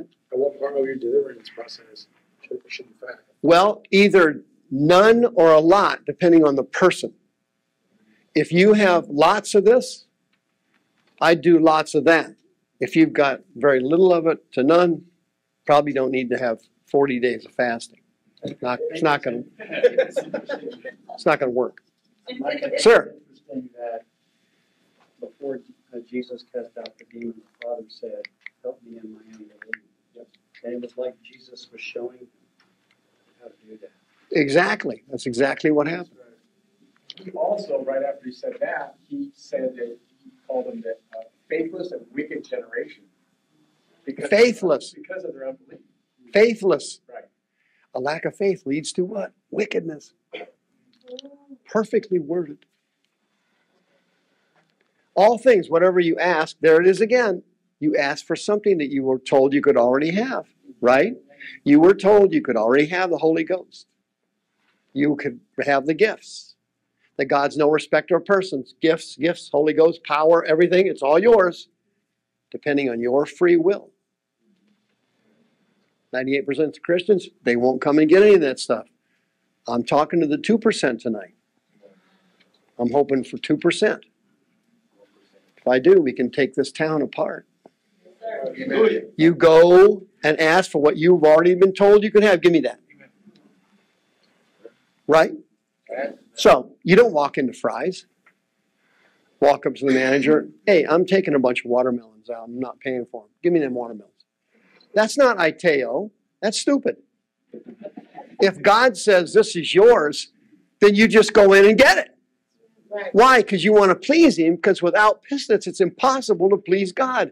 How do you please God? You believe what He told you because it's Him. Yes, that's it. it. Come on, sir. That's yours. You come in and get it, and Father's going, This is my boy here. I can use this gal. Look at that. Oh boy. Looks down at the mega church. Oh, I got a laser light show going. Let's go to the next one. Let's go find some broken people who are looking for a moving of the power of God.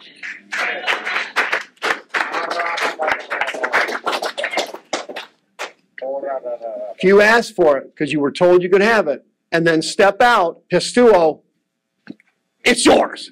Hallelujah. You take a promise of God. He told you could have it.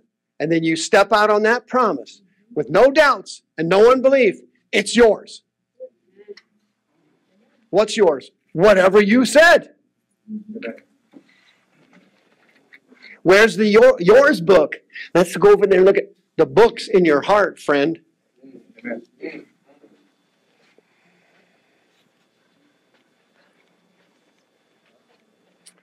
So what you're saying is, you know when you know when you know. Who's that guy? Whoa. Yeah. Can somebody finish this ta- teaching? I'm scared. Who was that guy? Eric, can you watch? Yes, sir. What'd you say? So you know when you know when you know. Because if you're asking questions, you obviously have doubts.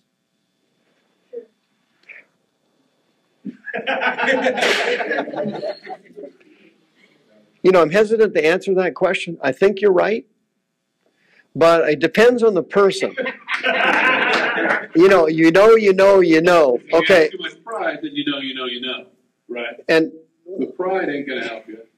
So I'm sorry to play a game here with you, but I don't I don't know. I don't know. So I know I doubt. Well, that's okay. You're going to fix it tonight. But the point he's trying to make it is right. Your internal knower, your spirit man, uh, knows whether you have doubt or unbelief, and so do the demons, and so does the Holy Ghost.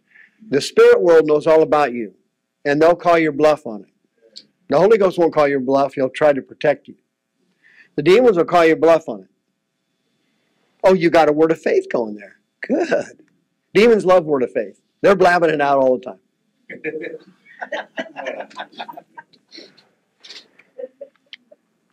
If you come to God and ask for wisdom, He will give it to you, and He won't, oneidizo, He won't degrade you or say anything negative to you, right?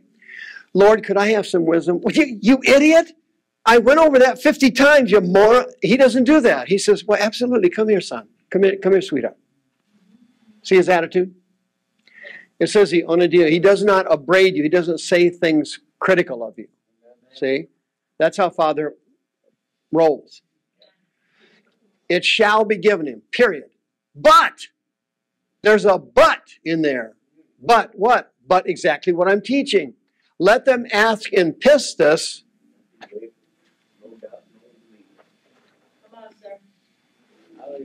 if you add this to your prayer request for wisdom or anything else, right? Wavering, same Greek word, diakrino. Let's see, do I like, is gray prettier for, oh, which matches here? What happens to, they think blue, they think gray. Then I'm not sure, what should I do about that? I'm thinking about this better. I'm focusing on it. Maybe, maybe I should have got them at Sam's Club. You see, that's diakrino. I'm vacillating back and forth. If I do that, my prayer request crashed and burned. Yes. Correct? And it says, He that wavers is like somebody in the ocean driven by the wind and tossed around. They don't know where they're going, they don't know what they're doing. Translation, their ministry is a failure. Their Christian life's a failure because they're always flopping back and forth the one truth to the other, one church to the other, one laser light show to the other, one belief. They're constantly chasing their tail, and the demons are helping them do it. Let not that man think he will receive anything from the Lord. This and that equals a goose egg. So maybe rather than asking for something you know you already have, thank them. And then, and then act upon it. Couldn't work out any better. Right. Instead of asking. Yeah. What he's saying is, what Eric's saying is, is great. Let's say you have a promise of God, you know what he promised you. Okay, now that's different from you praying for something that's not in the Bible. Let's say she has a need or she has a need, or you have a personal request, right? That's not in the Bible. Okay? So you might need, you might mention, Dear God, I need this for her. God said, Hey, I'm going to give you the gift of healing. And so you do what Eric said Lord, thank you for the gift of healing. That's proving you have pistis and you're a believer. See that? You can't lose with thanks.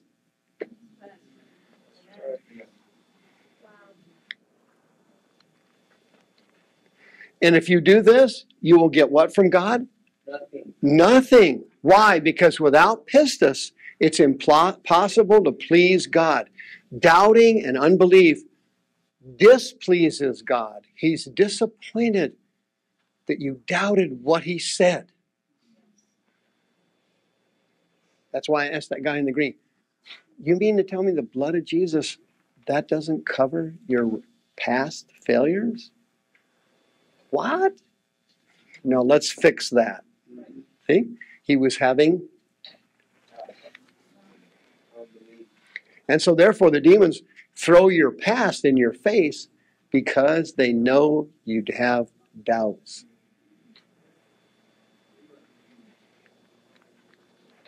You're being watched by the enemy. Yes, ma'am? So is fasting and prayer like the only way to increase your your um, No. duo? No. No. Fasting and prayer is that the only way to? No, the Bible says faith, pistis, comes by hearing and hearing by God's word. Okay? So the word of God would be your foundation. Then you recognizing you have unbelief and doubt, then you take that to prayer. And if it's really bad, then you might have to do a little bit of fasting. Is double mindedness a spirit?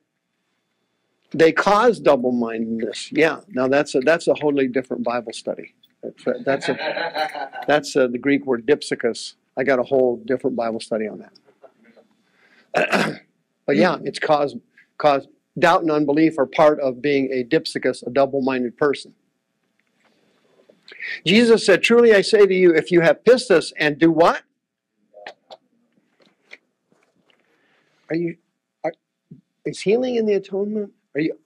Yeah, I think it is. I, I read that.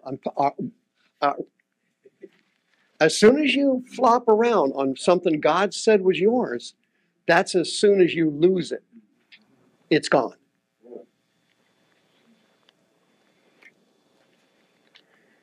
If you have pistis, no, no. Oh, and not do what? Oh boy. Vacillate. You can do this to the fig tree. Die. What's your fig tree?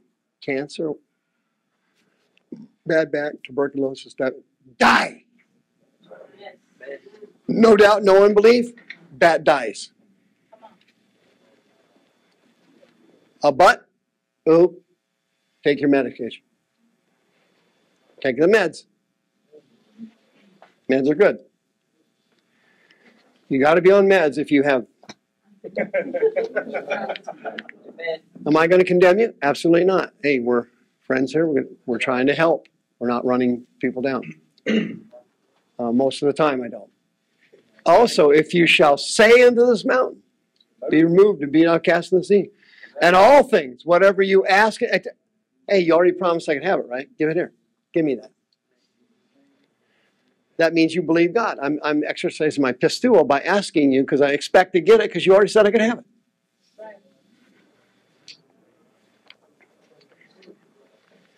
I asked it in prayer, and I'm doing what? Pistuo, stepping out with no, it's mine. See it? The pistis doesn't trigger until you light the fuse.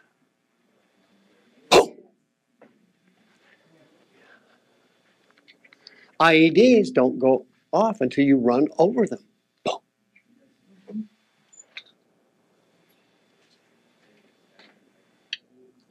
Christianity doesn't work without verbs. Mr. Wigglesworth, I, I've got a bladder problem. You do? Come here for a minute. My God, I feel fun. Now, the guy's a plumber, no education, and God said, Hey, I don't need education. I don't need any skills out of you. I need somebody who believes. I need somebody who will believe with no doubts, and then pistuo, step out, and I'll heal him. Bang, instantly healed. Hallelujah.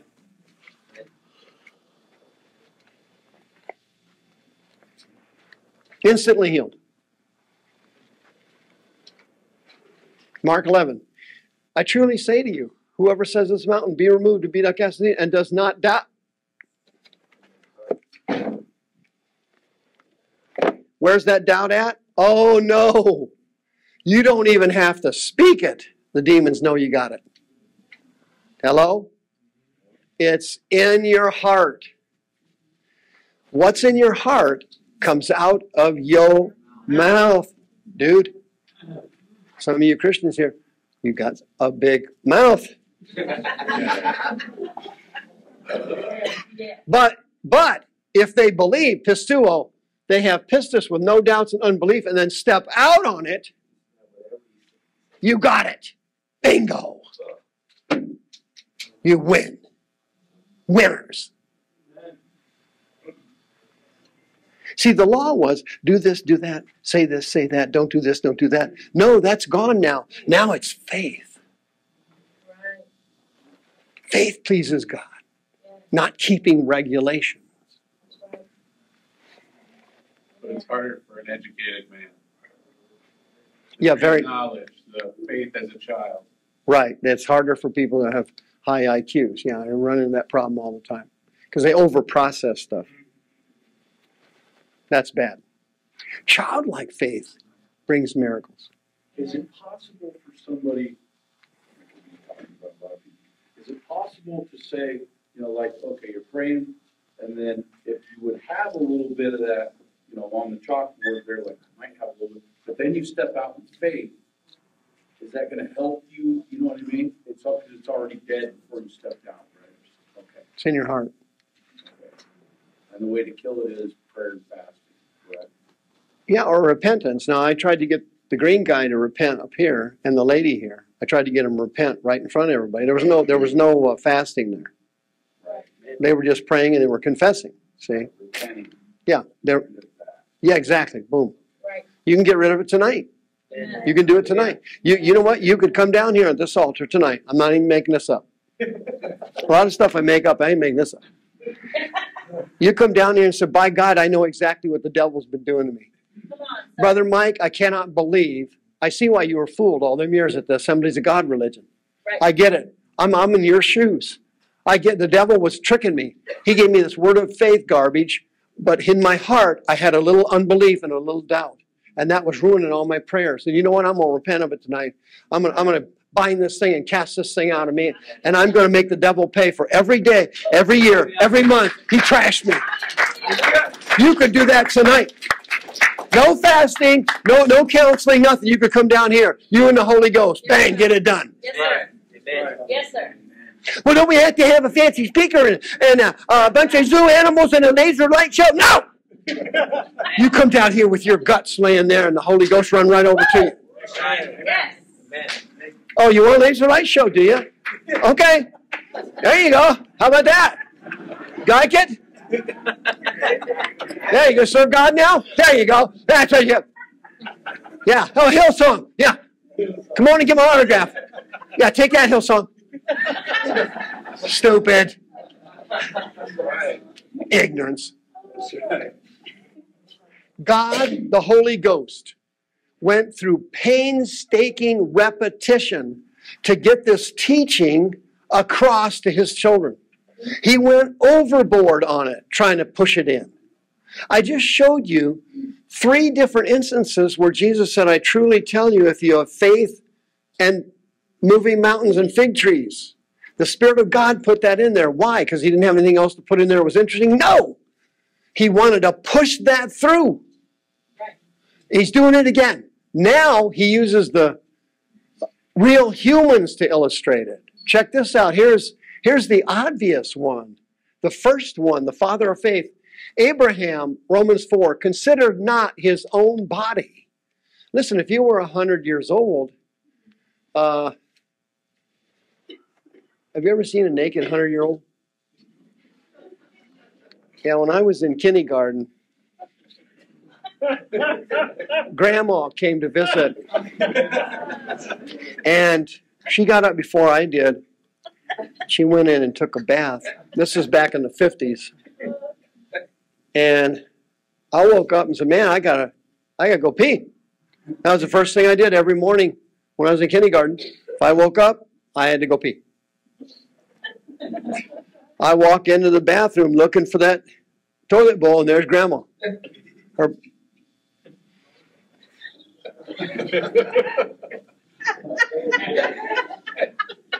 I didn't have to pee anymore. You see an 85 year old naked woman? You don't need to pee. No. You got to go. Now Abraham took a look at his body and said, Hey, this I don't, I'm not even looking at that. See, faith is believing when what you see tells you nothing. Abraham said, I see my body, I'm shot. I don't believe it. God said I'll have it. You believe God simply because it was He who said it, and no other reason. That's right, sir. Abraham had no proof whatsoever. That's right. Nothing. Then he took a look at Sarah. Wow. 80, 90 year old woman. Let me tell you something. When you're 80, 90 year old woman, no offense, you ain't hot anymore. Not a lot of hotness there. Okay, you're not on a pole, you're in a tent. Abraham took a look at him. Oh my God, he took a look at her. He said, I don't even care. God told me I'll have a son. I don't care what she looks like. She's got a womb and it's dried up like a prune. I don't care. God told me I was having a son. Period. It's right there. This is terrible preaching, but there's truths in it. Abraham staggered not. What? Same Greek word. I said, can I get an erection? Can can she have a what? I, what happens if what if I can't? perform? You know, where's the Viagra? None of it. He just said, God said I'll have a child. I don't care what my body looks like. I don't care what her body looks like. Amen. Period. It's over. Father said it. That settled it. That's, uh, that's right. Unbelief. Love. There had to be love. Well, the whole thing was love. Okay. If you're punting around with unbelief, you're looking, figuring something out, you're looking back and forth, well, I'm not sure. It generates unbelief. Doubt breeds unbelief. But he stood strong in what? Pistis. No doubts, no unbelief. Why? Because God said it, and he was fully persuaded. What is pistis? How is it defined? Full persuasion with no doubts and no unbelief. That what God had promised, he was able to perform. That's right. Hallelujah. Glory Come on, sir. That sermon will preach. Yes. Trust me. A centurion. Oh, wow. Matthew 8. There it is. Jesus heard the centurion. He said, I can't believe it. I'm stunned. I never saw anybody with this much pistis. The centurion was like Father Abraham, and he wasn't even Jewish. He said, If I can get to that Jewish Messiah, my son is getting out of that bed. All I got to do is get to him. And I'm going to cover all my bases. I'm going to send my servants after him first, and I'm going to follow up behind him. That's exactly what he did. He walks up to him and says, Hey, don't even bother to come to my house. I ain't worthy to have you under my roof. Just speak it here, and my son will be healed there. What is that? No unbelief, no doubts, pure pistis. And he rode up on a horse which was pistuo. He put his faith in action. He sent his servants. Then he rode up.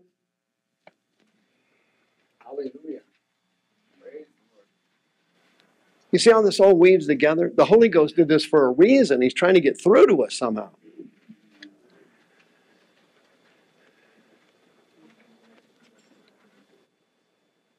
As you have what? Pistuo, stepped out on your faith, it's yours. Don't you see it? he had pistis here.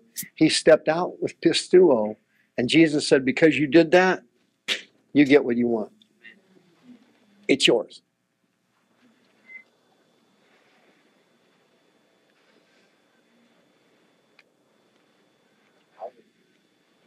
These are great scriptures, I'm telling you. The whole, uh, the whole Bible is fantastic. Absolutely. No question.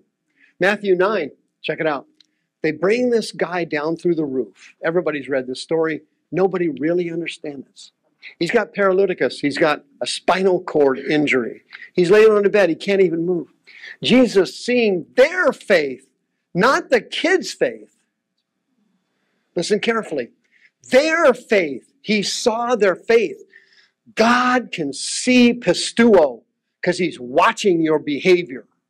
He's watching you, listening to what you say. Did you say something that generated pistuo, or did you file another complaint? Did you start bitching and moaning about something, or did you step out in pure pistis with no doubts and no unbelief? Which did you do? Somebody heard you when you opened your mouth. You opened your mouth and somebody heard it. Seeing their pistis, these guys are loading this guy down through the ceiling. That's pistuo. Big time. We've had several people want to, want to come over here for prayer, and they wanted to do that. We told them, no, we can't have a hole in the. Jesus then goes to the kid because the kid doesn't have pistis. He saw their faith, they're fine. The kid's not fine. Why? He's suffering from God only knows what. Depre- clinical depression. Who wouldn't be with a spinal cord injury?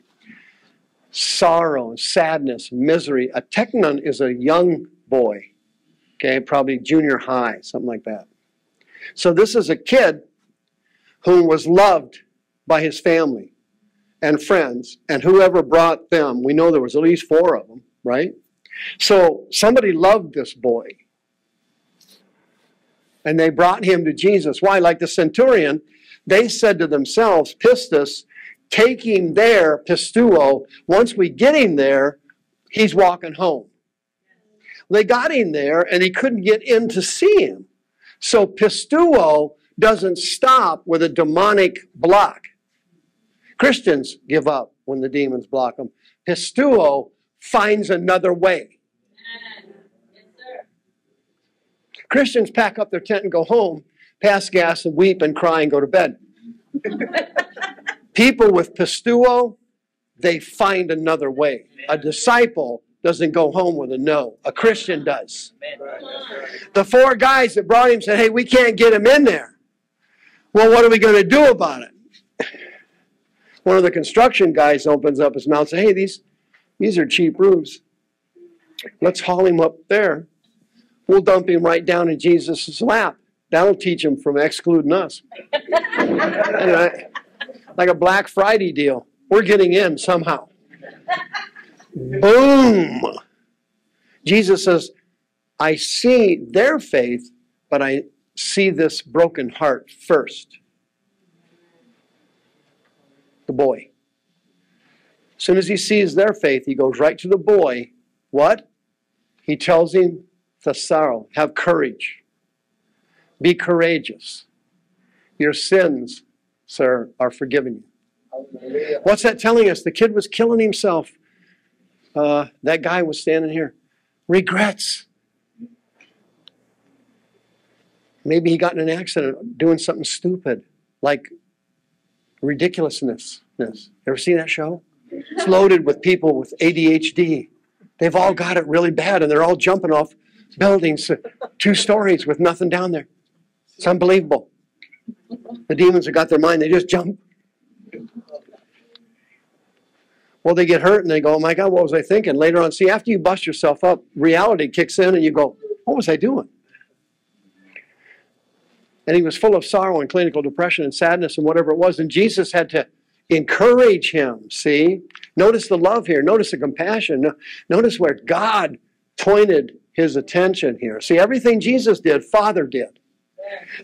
so if Jesus did, that means Father was 100% behind it. Father saw the guys in the roof, but he saw the kid first.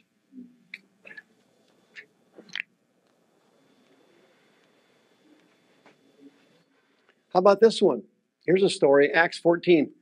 Paul looked at the man of Lystra. He had impotent feet, being a kolos, limping.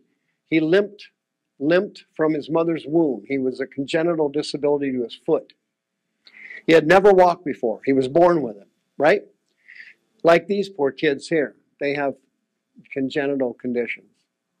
Paul steadfastly staring at the kid, Edu, seeing he had pistis to be healed.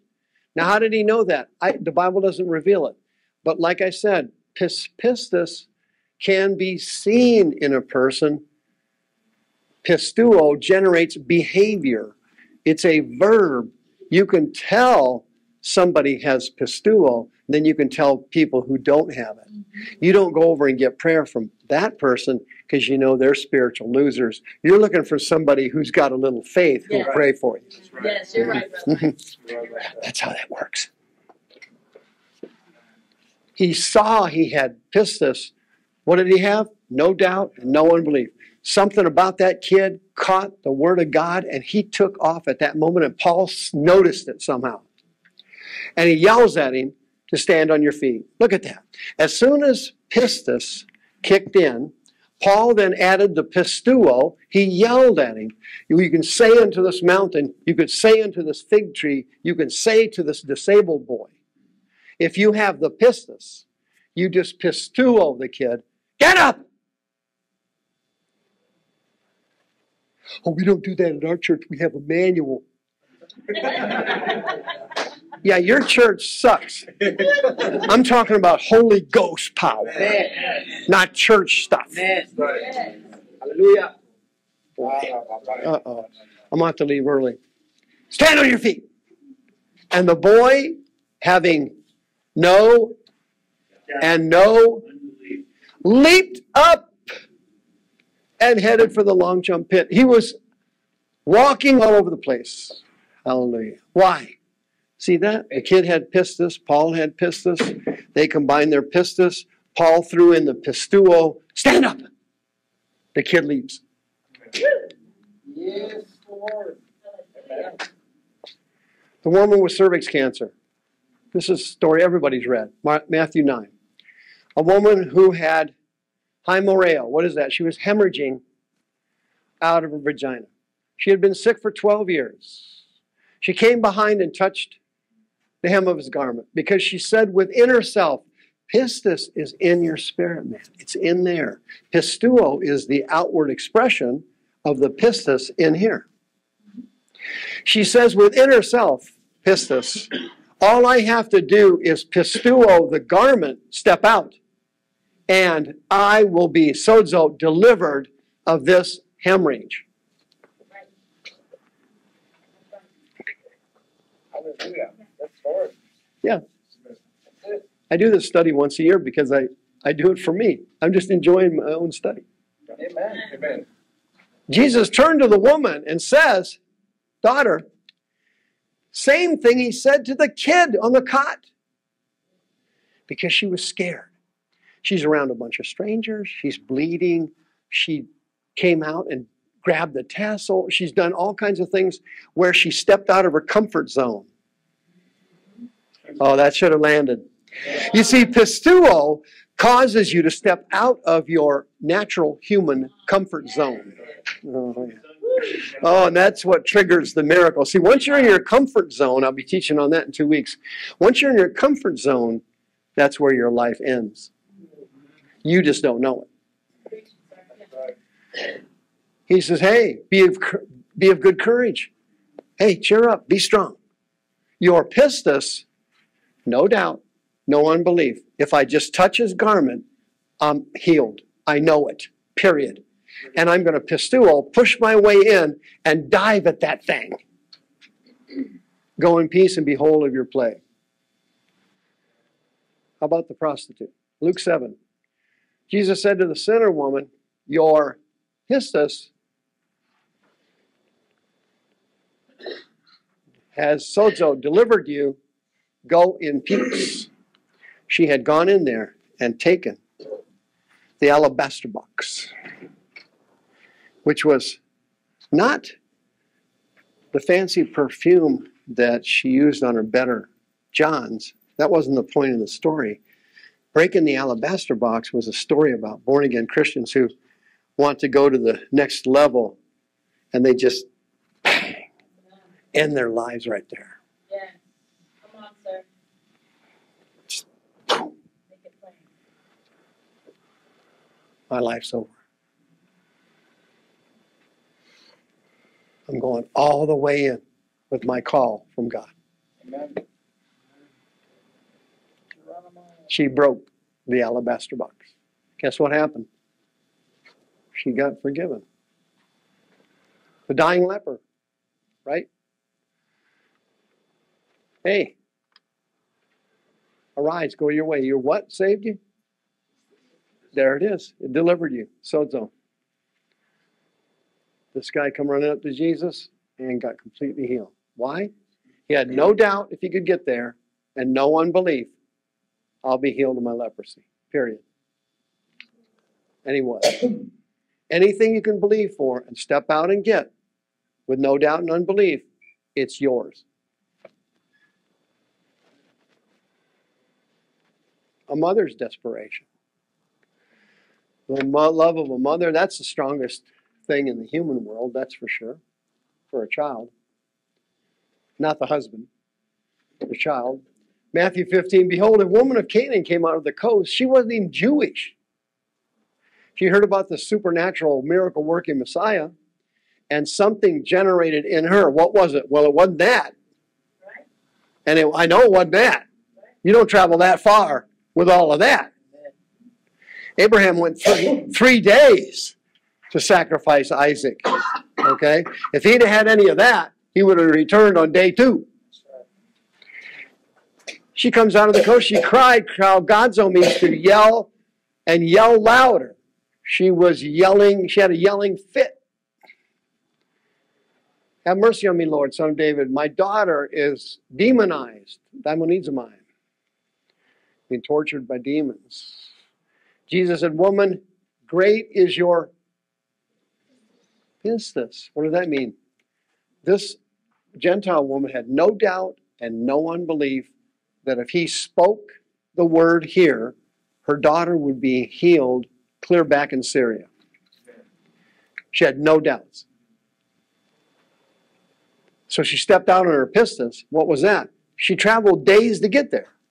She continued with her pistuo, yelling at Jesus in spite of the fact that church people told her to shut up. If you go to a church and you start yelling in the front row, they will escort you out. Which is the opposite of what God wants done with the person. He wants them here to be delivered. Woman, your pistis, no doubt and unbelief, is great.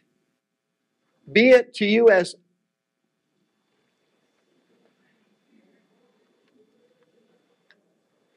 you get it the way you want it. When you don't have So got there means a young girl, grade schooler. She was a young girl, and it says she went home and she found her daughter, the devil out of her daughter, and her daughter was thrown on the bed, it says. Laid was mistranslated. The demon just probably threw her before he left, threw her down. No, and that happens here sometimes. The demons will pitch a fit and because they got to go. I didn't get any amens on that. It's going to be a long night for me, but two blind men, what did they have? Pistis. What did they have? Pistuo. Jesus said to two blind, do you pistuo? Do you do you believe that I'm able to do this? Well, that was a rhetorical question. He'd already seen him following him down the street. Listen, you got a lot of faith, pistuo and pistis, if you follow somebody and you're blind. Well, that takes a lot of guts. It takes a lot of that too. Yes, Lord, we do. That was a what do you mean? We've been following you for six blocks. How did he get the miracle? No, no. According to your pure pistis. If it's only the size of a mustard seed, it's powerful enough to move a mountain if it's pure. Thank you, Yeah. Blind Bartimaeus, everybody knows the story. Mark chapter 10. The church people showed up. They said, Hey, shut up. Stop making a noise. We don't do that in this church. We like things done decently and in order. Okay. You don't like any miracles there, do you? He's yelling out more, Son of David, have mercy on me. What do you want me to do for you? Don't- Aren't you seeing this? Pistis and pistuo gets what you want from God.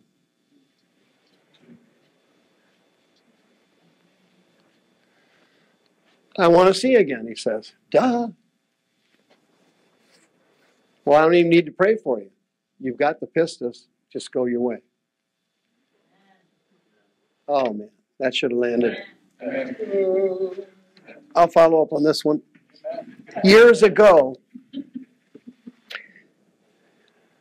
a century ago, a woman named uh, Mary Woodworth Etter used to travel around the country.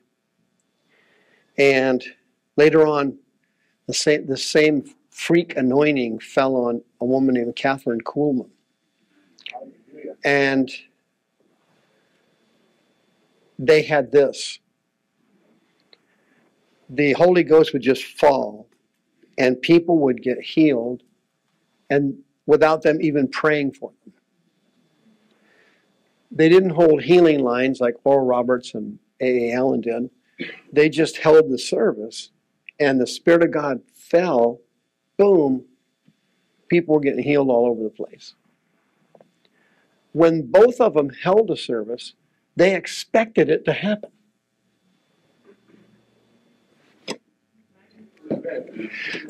That should have landed. That should have landed. People who have pistis expect miracles. Church people expect laser light shows and the naked cowboy playing at your church service. There he is, praying at the women's service. Okay, we don't need a naked cowboy around here. What we need is some people who believe without any doubt and without any unbelief. Now, just for your information, go your way. Your faith has made you whole. You don't even need to get prayer if you've got pistis and you stepped out on your pistuo. He didn't even spend a minute praying for him, didn't need to. The boy on the cot believed him and took courage. Jesus said, Go home now.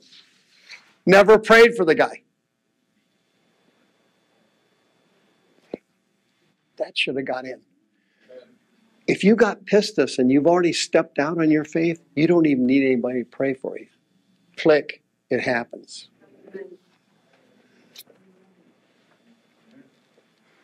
Folks, I'm not making this up. I'm reading it to you. I'm just, this isn't Mike Smith night. This is God's holy word. It got nothing to do with me. Stephen and Barnabas, what are you talking about? Here they are. Check this out. Stephen started out as a table server, he was a busboy in the revival. See? The reason your ministry sucks and your Christian life stinks is because you wanted to start out at the top and you didn't want to start out at the bottom. Right. Right. So God can't use you. You got too much arrogance and pride. That's right. You're to use a slang term, you're a spiritual turd. Okay now. So you're not going to get anything. Because you don't want to do any grunt work. When I opened the house of healing over there, I read these scriptures. And it clicked. And I'd been such a horrible sinner, I was sorry for my sin. Amen. So I just wanted to be, like the Bible says, a servant. I didn't get any cards printed up. Prophet Mike. I didn't need, no. Stupid. After the service at the house of healing, for years, I'm emptying out the buckets, putting the paper and plastic back in the buckets. I'm cleaning up the bathroom. I'm wiping out the toilet. All the saints come in, healed, peeing all over. I go in and clean it up. You know why? I didn't want to be an apostle. I'd been called to be a servant. So I cleaned the toilet. Stephen. He didn't come in there looking for an apostle job. Huh. That's for the prophetic movement. He came in there to bus tables. Somebody's got to be listening to me tonight. Stephen started out as the table busser, cleaning up after the saints ate and picking stuff up and cleaning it up and wiping it up. And the Holy Ghost saw him. He said, Hey, this is a guy I can use. He's a humble person. He, he just wants to serve. See, God, man looks on the outward appearance, God looks on the heart. The Spirit of God looked inside Stephen. And what he saw in there was a servant. He said, I can trust this guy with my mighty Holy Ghost power. I can trust him. Guess what happened? Boom. This guy had a spectacular ministry. You know what the greatest thing he ever did? They stoned him to death, and there was a rat, there was a Pharisee watching him. King Saul. Saul Paul was watching him. He was holding the coats and he wanted him dead. And Stephen prayed for him before he died. He said, Lord, don't lay this thing to their charge. And God heard him and came after Paul on the Damascus Road. Stephen's greatest miracle, Stephen's greatest miracle, healing all these people, raising them from the dead. No! No. He died and saved Paul. None of it would have happened had he not been willing. Clean out the toilets, fill the bags, pull out the vomit. I said, Lord, are you sure this is the ministry you want me in? I started asking some questions. So I saw the guy on TV with the yacht, limo, mansion. I said, Lord, I, I can do that. I know how to do that. Uh, son, I got a different plan for you. Why don't you stay and clean up this vomit? Just keep cleaning up the vomit. Instead of rebelling and getting arrogant, I said, I'll stick with the vomit. Amen. Hallelujah. Thank you. I got to be talking to somebody. Somebody's got to be ready to break out of their pathetic Christian life and become a disciple. Somebody here has got to be ready. Yeah. Hallelujah. Pick me, pick me. What Stephen have? Check this out. He had no doubts and no unbelief. He had the Holy Ghost and he had Holy Ghost power. Most Christians do not have that. Why? Power develops only when you exercise it. Churchgoers with big fat fannies stuck in pews, they're used to sitting down doing nothing. So the dunamis power never develops, even though they have pistis and they have the Holy Ghost. When I was in the Assembly of God religion, over half the people spoke in tongues and had been filled at some time with the Holy Ghost and weren't doing anything for God. Nothing.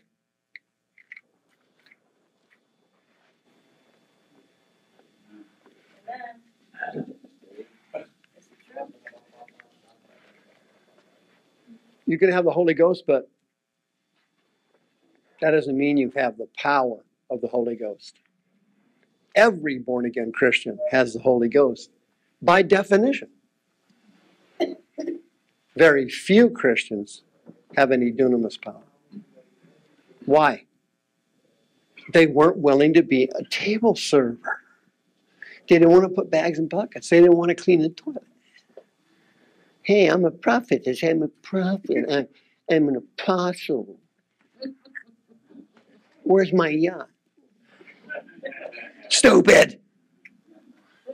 The power, dunamis power, comes from serving, not riding around in a limo.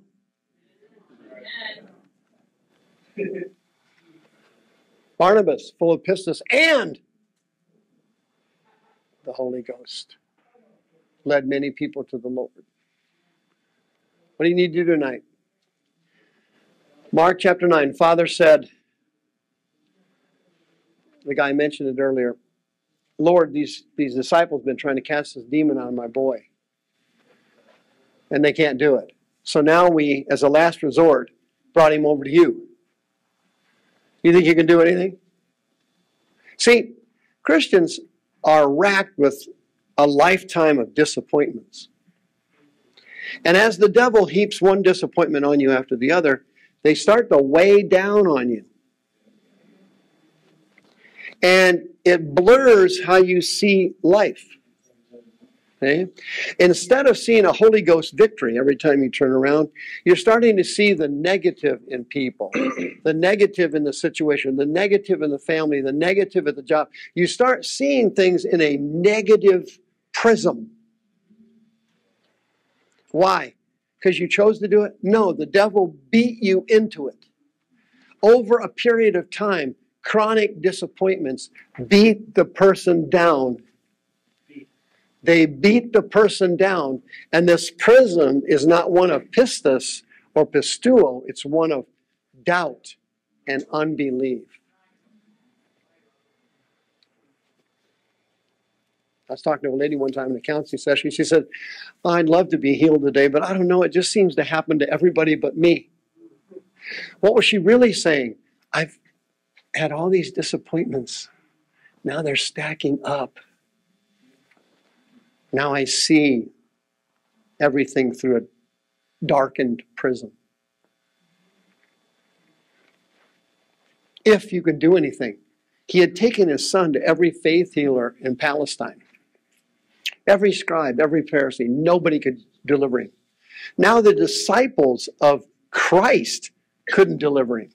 Now he's on another dive down.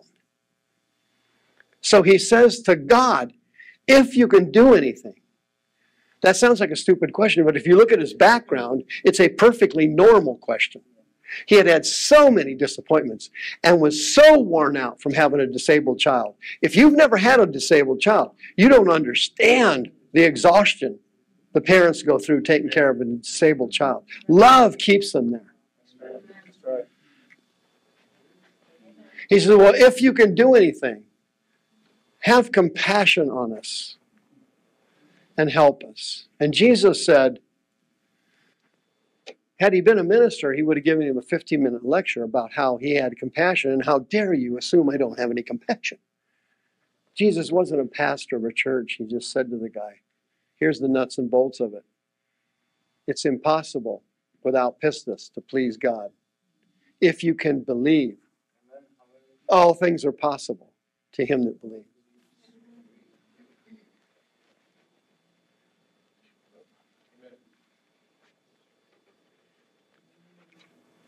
What was the guy doing?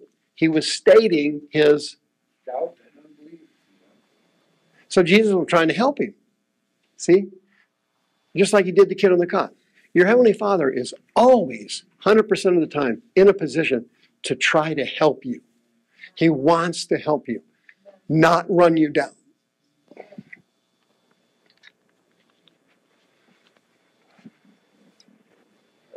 You ever run across that situation, uh, especially uh, with this being an academic and deliverance ministry, where you are believing strong for something, and the person appears to believe very strong for a healing, and yet you can suffer, you know, over a decade, and then it gets to a point where they just are worn out, and it's like, I know you gotta stand on the word.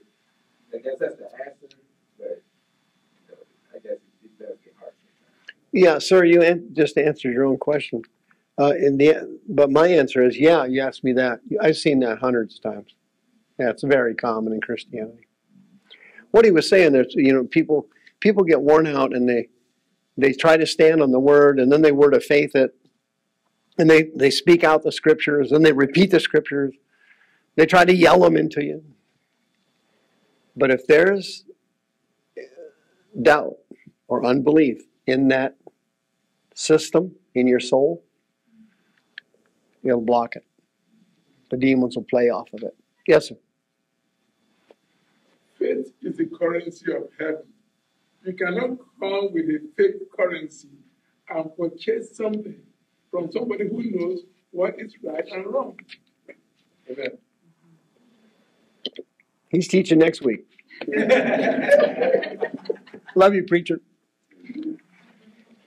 All right, let's go to uh, the father cried to Jesus, Lord, I did step out on my faith.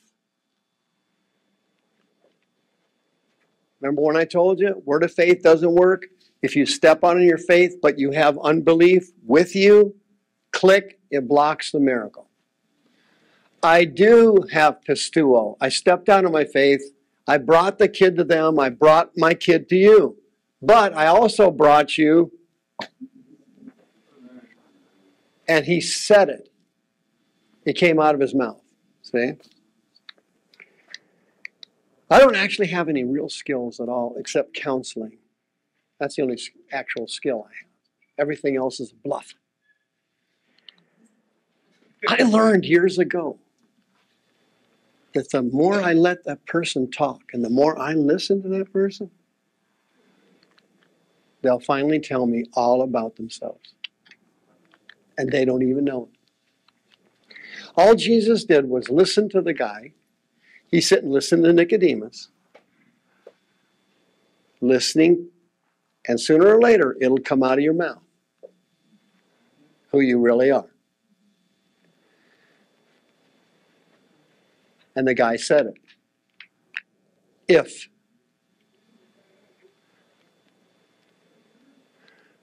All right.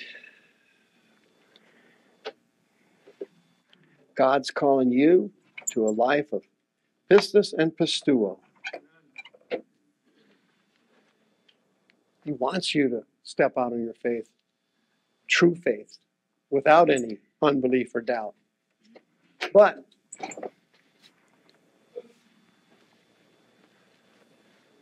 But these things block it. The number one blocker is what? Fear. Fear is the number one blocker. When somebody first gets born again, after they get saved, the demons encourage them to witness to others. What did he say? The demons encourage them to witness to others because they want them to receive all the negative responses to try to discourage them.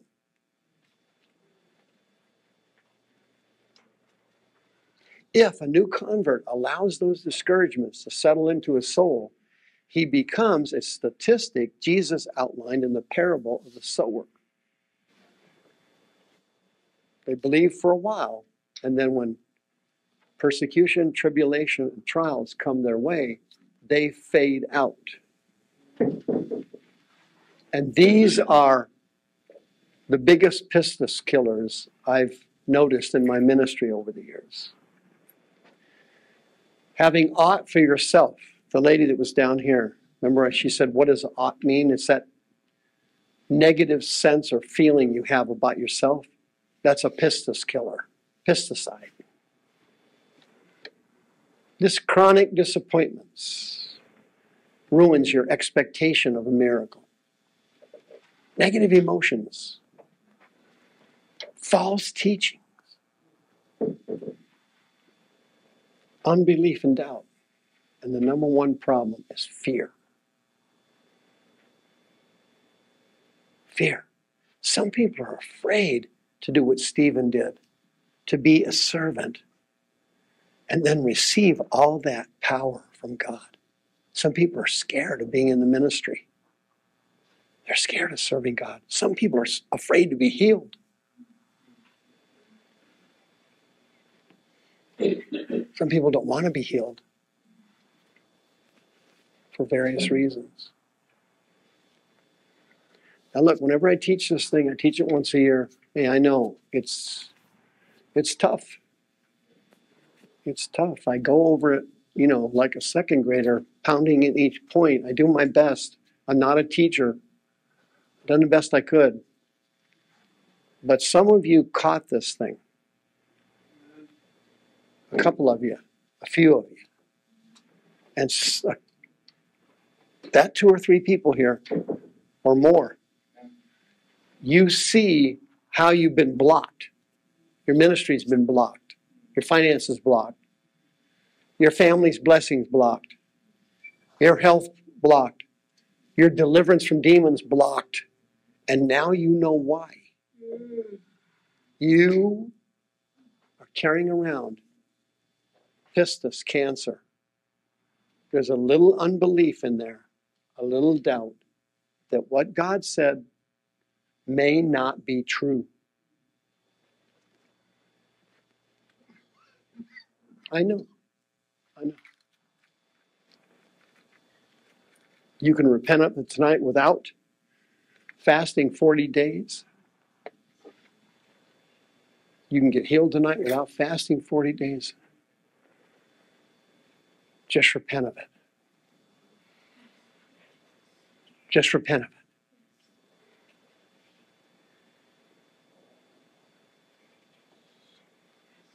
Just repent of it. You have doubt and unbelief. And you recognized it here tonight. You recognized it. You can get rid of it. God will remove it. It can happen to you.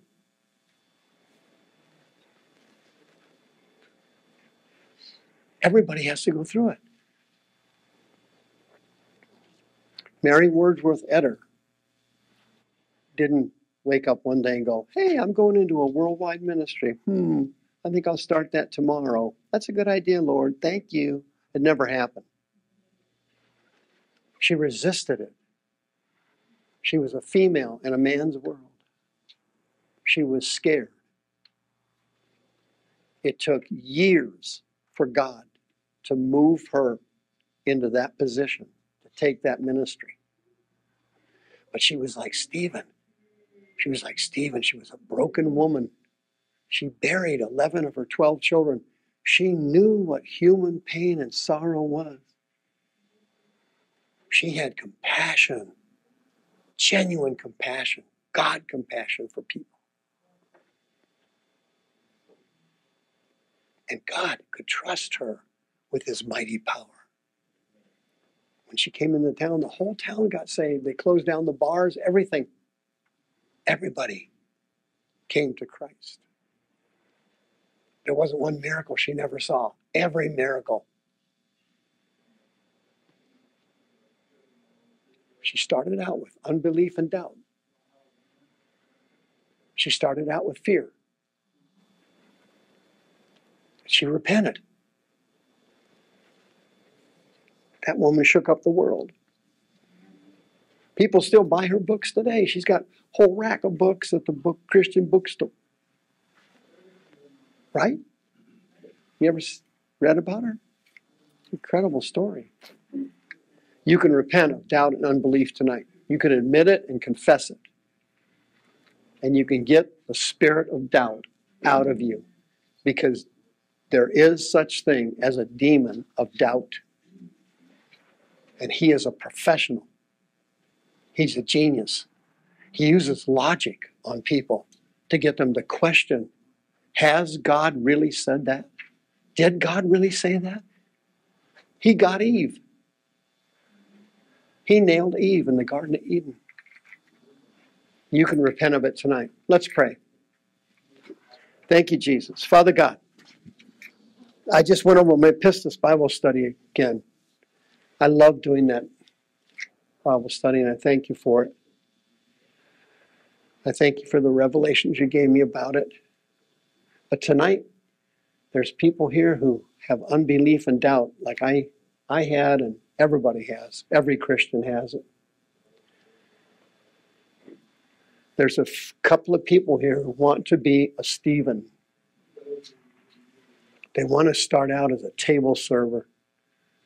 And they want to end up with the Holy Ghost and dunamis power. But to do that, they have to sacrifice themselves. They have to sacrifice themselves. And I'm asking, Lord, tonight, whoever those people are, even if it's only two or three, I will rejoice when they come up here and break their alabaster box and end it. It's time for futile lives to come to an end. It's time for you to do something for eternity. It's time to stop living for yourself and just your family and just your little group. It's time for you to make sacrifices. You know God's calling you. You've got a good heart, and the devil used fear on you. He used doubt, he used unbelief, he used criticism of others. He stripped your support away from you. Your family doesn't support you. Your friends don't. Your church doesn't. The church didn't want you. If the church kicked you out, you're in a prime position tonight for the Holy Ghost to find you. Just repent of it tonight. Did anybody catch this vision tonight of what pistis and pisteuo is? Just raise your hand. Oh, that's encouraging. Wow. Well, that makes me feel better. Thank you for that. Is anybody here see that they have to break their alabaster box and become like Stephen and would be willing to do it tonight? Anybody? Come down here and see me then. If you're willing to cash in your life here, stand here and face me right here. Perfect. You see you have unbelief and doubt. You see you've been questioning God. You see that. You can sense it. And you want to end it. You want this thing stopped. This has got to come to an end. None of us are getting any younger. I can remember like yesterday, I was in my 20s. My God, I'm in my 60s now. I mean, it just flies by. It flies by. I'm not making that up. It flies by. One guy was down here earlier and said he was uh, 45 years old. Thought he was old. When he said 45, I thought, my God, what I, I'd give anything to be 45 again. The Bible's right. Your your life is like a vapor. It just fizzles away. It's gone. And on the other side is the gates of hell for most people. On the other side is heaven and the judgment seat of Christ. At that judgment seat of Christ, your rewards for eternity will be determined. If you, as the Bible said, pissed your life against the wall and wasted it, your rewards, if you make it to heaven, will be minuscule. You have a chance tonight to change that. Instead of crawling into heaven with no rewards, you could go in like the disciples, rejoicing because they sacrificed themselves and they broke their alabaster box. They just cracked it. Break. You can end your life tonight. You can be healed tonight. And you know you need to do it because your time's running out. It's been like that. It was 10 years ago. You can remember it just like that. 10 years went by just like that. I'm not kidding you. 10 years just blew by like that, didn't it? Yes, it did, yeah. It's gone. The next 10 is going to blow too. But you're not going to waste the next 10. No, that's not going to happen. You like prophetic stuff, do you? You've been called by God and you're going to answer that call. There's some prophecy for you. Like that. Amen. You're going to change your life. Amen. You're going to humble yourself. You're going to break your alabaster box. You're going to get rid of that pride and that arrogance. You're going to end this thing tonight. Why? Because you have pistis. It just has a little doubt and unbelief in it. If you remove that doubt, you will have pure pistis. You can move mountains if it's just that big. That's what it said. Let's pray. Come on. Dear Jesus, I've got unbelief and doubt in my soul, and I'm so incredibly sorry. God, have mercy on my soul. I've been living for years thinking I had faith, and I didn't know I was sabotaging it. I just saw it tonight with the scriptures, Brother Mike was sharing. He's right. If I add unbelief in my faith, it ruins it. It ruins it. That's why things don't happen. That's why I don't have any miracles. That's why I'm not healed. That's why I'm not delivered. That's a, I figured it out tonight, Lord. You helped me figure it out. Thank you, Jesus. I'm repenting tonight in the name of Jesus. I renounce doubt and unbelief by the authority of the Word of God. I renounce the sin in my life. I renounce my past that's been nailed to the cross of Calvary. I renounce demons and sin and wickedness in the name of Jesus. I'll refuse to live like this anymore. I renounce this ugly, unclean spirit of lust for food and sex. I renounce this greed and this pride. I come against it. I come against it in the name of the Lord. I renounce this ugly spirit of food, diabetes, and heart attacks, and come out in the name of Jesus. I renounce having doubt and unbelief. I renounce questioning the authority of the Word of God. I renounce it in Jesus' holy name. I command you, Satan. I command you, Satan. Loose your hold of me now. Loose your hold of me right now. Come out now, I said.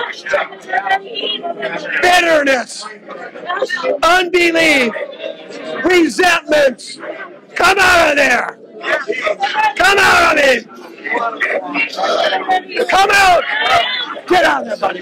Get out. Come out, buddy, right now. Come out right now. Go. Come out. Come out of me right now. Come on, break that alabaster box. Break it. Break that alabaster box. I'll break it tonight. Satan, I hate your guts. I command you, go from my family. Go from my children. Go from my body. Get out of my body right now, you demon of fear. Come of there right now. Insecurity. Insecurity and doubt. Insecurity, doubt, and unbelief. Come out. Insecurity. Come out. Lust and sin. Come out. Right now. Get out of there. Come out. Get out of there. Come out. Come out of that body right now. Get out of there. Come out of there. Come out. Keep talking. Come out right now. Come out of there. Shake out of there. Come out of that body. Come out right now. Go. Come out of that body right now. Come out there, you witch. Right now. Leave her brain. Leave her brain. Leave that brain. Come out there, you witch. Right now. From your spirit. Go. Come out right now. Get out of there. Come out in Jesus' mighty name. Get out. Insecurity, unbelief, doubt. Hurry up. Get out of there. Insecurity, rejection, abandonment. Get out of that body right now. Come out of there. Come out of there. You're not hiding tonight. You got the anointing. You're going to use it. Yeah, let your tears go. Come on. Let them go. Unbelief and doubt. Come on out. Using food as a comfort. Come out. Go now. Come on, body right now. Come out right now. Get out of that body right now. Come out. There he is. There he is. Come on out. There he come out. Come out. Out. Come on that body right now. Come on that body right now. I said frustration. Come out. Go now in Jesus' mighty name. Come out. Come out of her spine. Come out of there. You man hater, come out of that body. You man hater, come out. Come out. Abuse, come out. Verbal abuse, come out. Come out. Come out. Get out of the body right now. Come out of there. Get out of the body right now. Someone. Come out. Come out. Come out. Come out. Satan, come out. Satan, come out. Come on out. Get out of there. Right now. Go now. Come out of there, you witch. Go. Come on, quicker. You got the anointing. Use it. There they come. Keep coughing. Come on, honey. Let's go. Come on now. Come out right now. All of them tonight. All of them. Come out. We don't stand demons. Come out, buddy. Come on out. Come out. Disappointments. Come out. Disappointments for men. All the men. All the bad men. All the man haters. Come out right now. Husband hater. Come out. Come on, buddy. Go now. Come out right now. Come on out. Come on out. Go. Come on out. Go. Come out. Come out. Just repent of it. Come out. Come on. Lord Jesus, I'm so sorry. God, I'm so sorry. I'm so sorry, Lord. Let your tears go. Come on. I'm so sorry, Lord. Come out of there. You pervert. Come on, buddy. Boss, come out of there. Come out, you pervert. Right now, I said, you're not dragging this man of God to hell. Get out of him right now. Come on out. Come on out. Come on out. Come on, sweetie. You got a nice anointing. You're just not using it. Come on, you got a good heart. Use it. Come on out. Let your tears go. Come on out. Come out, Satan.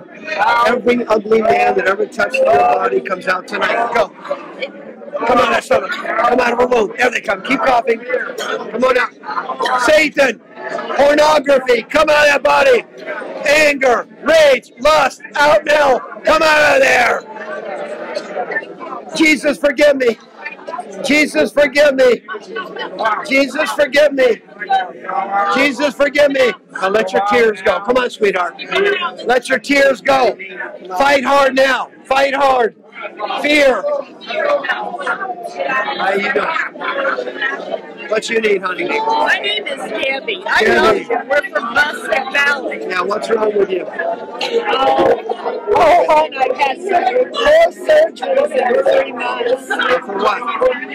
Uh, macular hole, two retinas, detachment, uh, my foot. Now listen, that's not our problem. I know. I have doubt and unbelief, sir. You No, that's not our problem. Now, when you was young, somebody verbally abuse you? Oh, my whole life.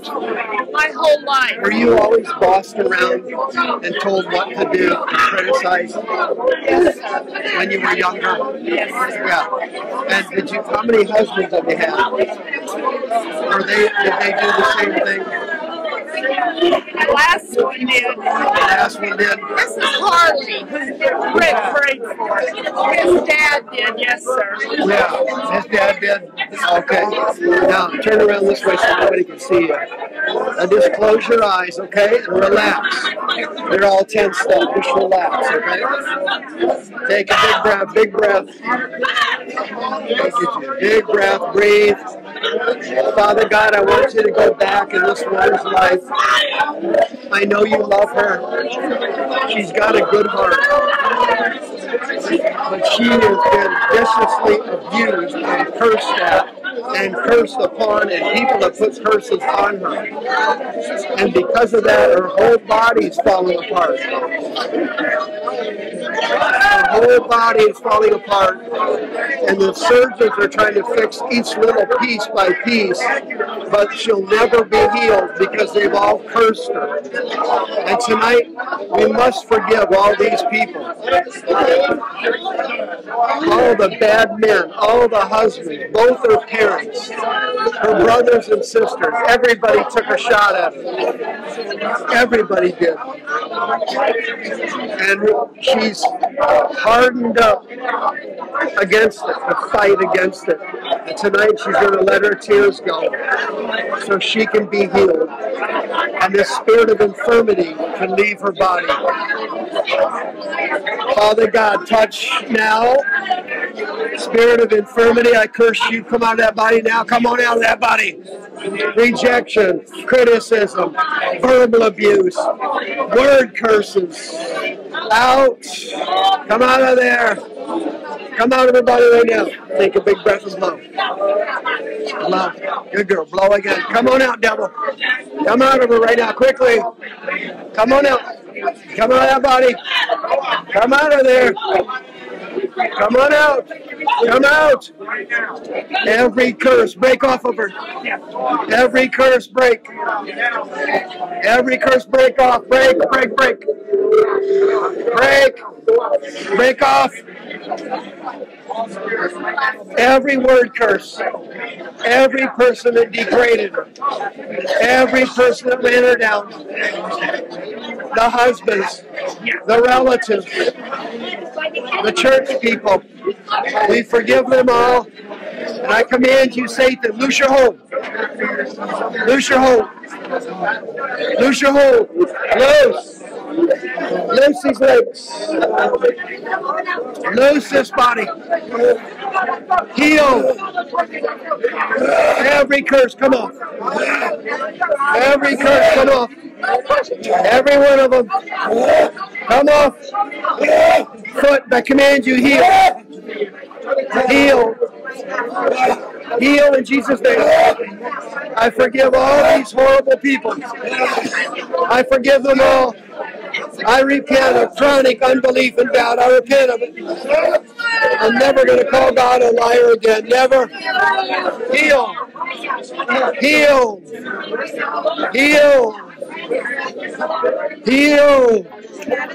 Heal. Heal.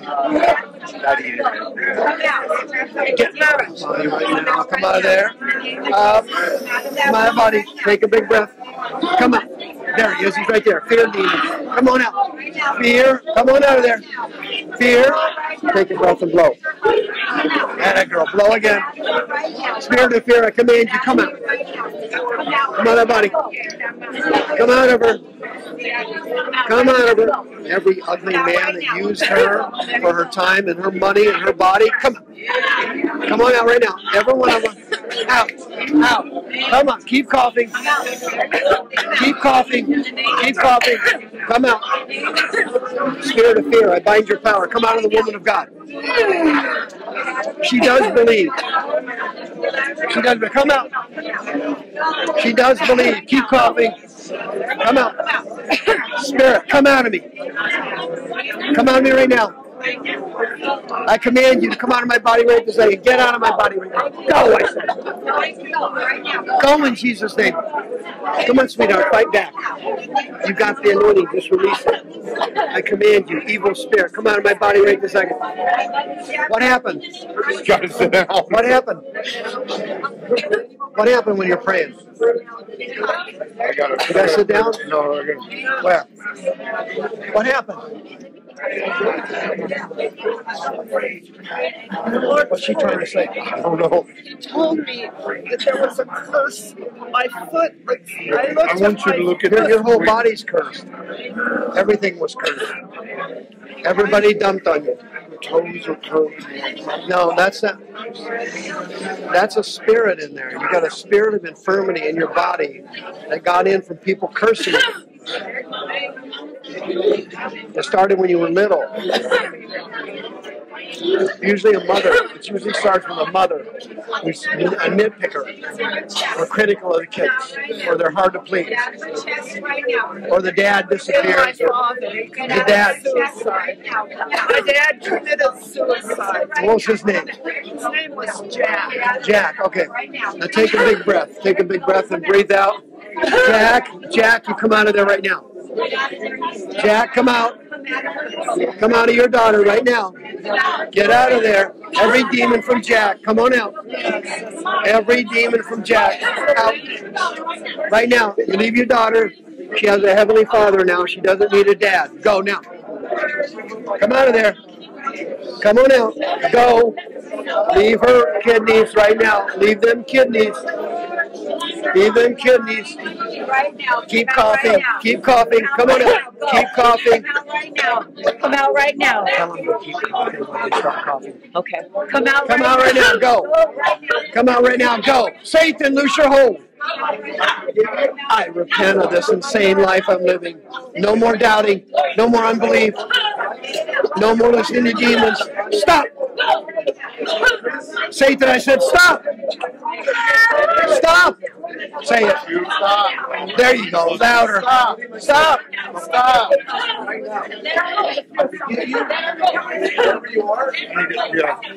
Come on out. He's coming out right now. There he is. It's your dad. It's your dad.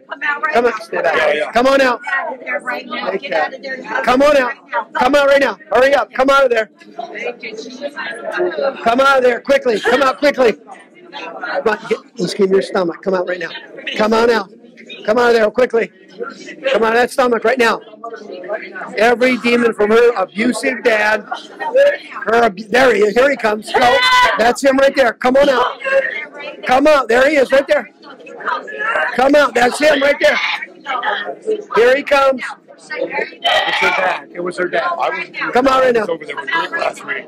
I know. Oh, How'd you do? I filled up two buckets. Come on out. What's your dad's name? Her dad's name's Jack.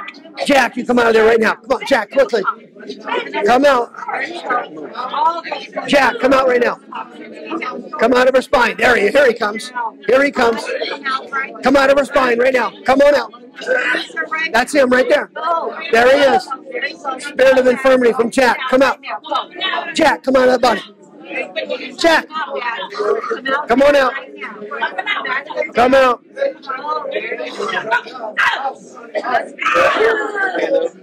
Jack, come out in Jesus' name. Say it. Jack, come out. Get out of that body right now. Jack, come out right now.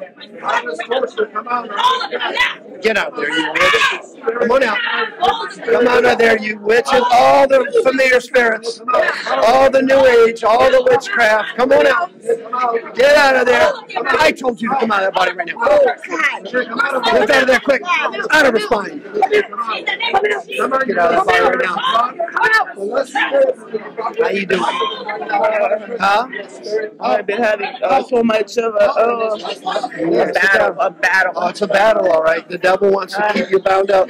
You got a nice anointing, and you're going to start using it. Take a breath. Come on out, devil, right now, quickly. Come on out. Come out of there. Come on right now. Come on right now. Come on, that stomach. You get out of that body right now. Come out. Come out of her. Come out of her right now. Come out right. Here they are. Keep going. Satan, loose your hold. Satan, loose your hold. Satan, loose your hold. Satan, come out. Satan, come out. Satan, come out.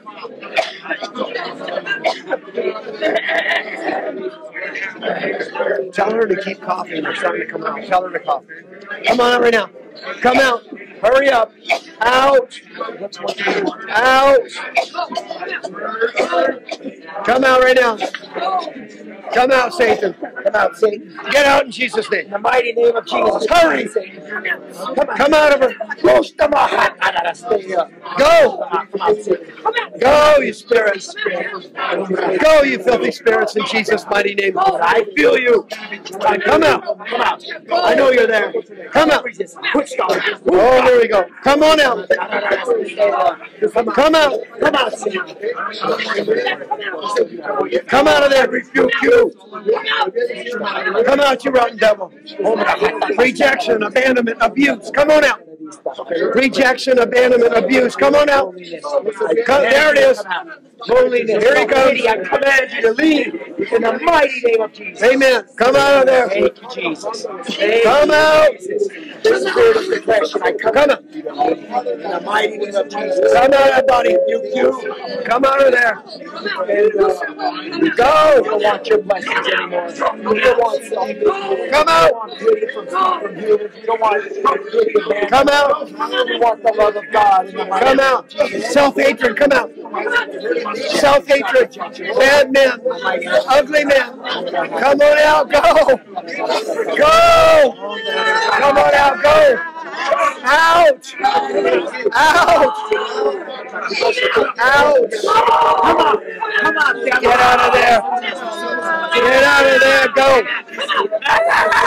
Come out. Come out right now. Come out. Go. Get out of that body, Satan. I command you, loose the man of God. Loose this man of God. There they come. Go. There they come. Go. Come on in. Here they come. Satan, loose your hold. Satan, loose your hold. Every demon out. Every demon out. You rotten devils. The Holy Ghost is here. That means you get your face kicked in. Get it. Hey. Come up here. Hey, come here. Hey. Hey, what's your name? My name's Larry. Uh, uh, how'd you get disabled? What happened? Uh, in 1988, uh, someone shot me when I was getting off work. Someone what? Shot me, and so Oh, I have. I have a bullet lodged in my spine. I'm L1T12 complete, Oh. and so uh, I, So what? and, and so I, I've, I've been watching you online, and I heard about you on Omega Man. So I've been coming here almost three months now. You have? Yeah, Three months. yeah, yeah, three months almost. Yeah.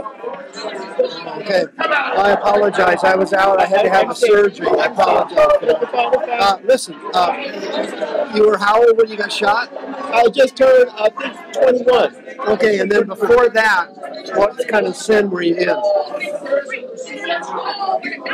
same sex, a same sex relationship. What happened is uh, the, the Lord bisexual or gay? This was gay. The Lord was telling me to get out of that, and I was trying to get out of it. But the individual I was with wouldn't let me go, and he told me that he'll kill me if I left him. Did he shoot you? He, he shot me. After What's his shot, name? his name is Damon. After he shot me, he killed himself. Oh wow. Now, But but uh, now uh, my, I've been doing a lot of deliverance, and I have forgiven him. Okay. And uh, I'm doing everything because I, I've heard you several times on Omega Man, and everything that he's teaching about forgiving and letting go and binding and loosing. I've been doing that. Okay. Uh, what was the name again? His name? Yeah. Uh, Damon. Okay. Ready? Now, Lord Jesus, I want to talk to you for a minute about Damon. I know it's too late for him. Uh, the devil got him. But if he were here tonight, I would do exactly what you told me to do. I would love my enemies and bless those who curse me. I would pray for those who despitefully use me. And I would pray for Damon if he was here tonight. I can't do that, it's too late. But when he was young, he had bad feelings about Damon. And Damon allowed demons to enter this body. Sexual perversion demons. Bitterness and anger came in after the shooting. Frustration. Chronic pain. Damon put a curse on this man of God physically cursing him and spiritually cursing him. And tonight, Lord, every evil spirit from Damon, every demon from Damon, we bind your power. Every spirit of perversion that got in and went dormant and tried to hide. Every spirit of fear, sadness, depression, loneliness. We bind your powers of this man of God. Spirit of infirmity, blocking his healing and walking again. You, Spirit, in Jesus' mighty name. We forgive these people. We have mercy on their souls. And every one of these spirits have got to come out. Okay, take a breath and blow. Good, blow. Come on out now. Damon, come out of there quickly. Come on. Come on out. Come out of there. Leave, you filthy spirit. Mind control. Come out. Come on out in Jesus' mighty name. Right now. Hurry up. Let this man of God go. Let him go. Let him go. Come out. Come on out.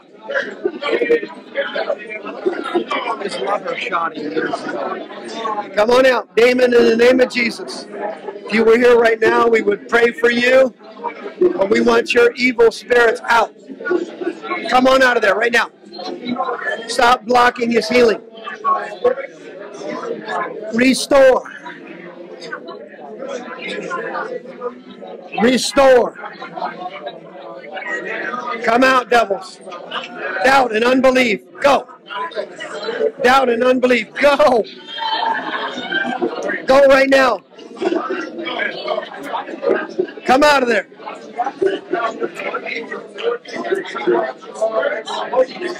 Perversion.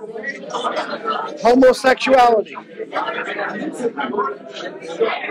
Go in Jesus' mighty name. Sodom. Come out. Come on out quickly. Come out of this man of God. Come out of the man of God. Come out of there in Jesus' mighty name. Come out. Come out.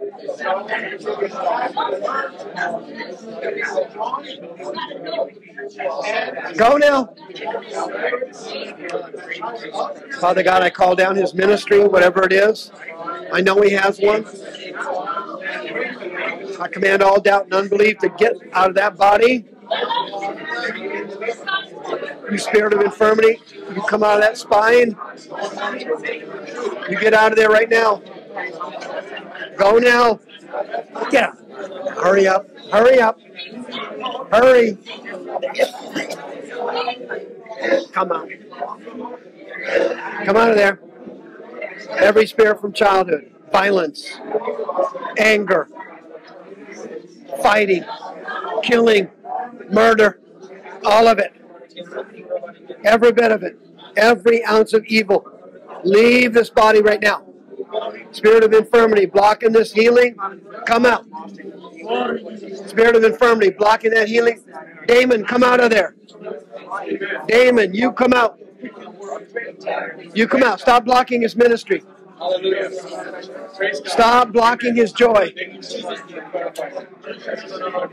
Stop it in Jesus' mighty name. I feel more life in my Lord. Come out. Doubt and unbelief. Go on. Come on out. Come on out. Get out of that body right now. Come on there quickly. You filthy blocking spirit. Putting doubt and unbelief in his brain.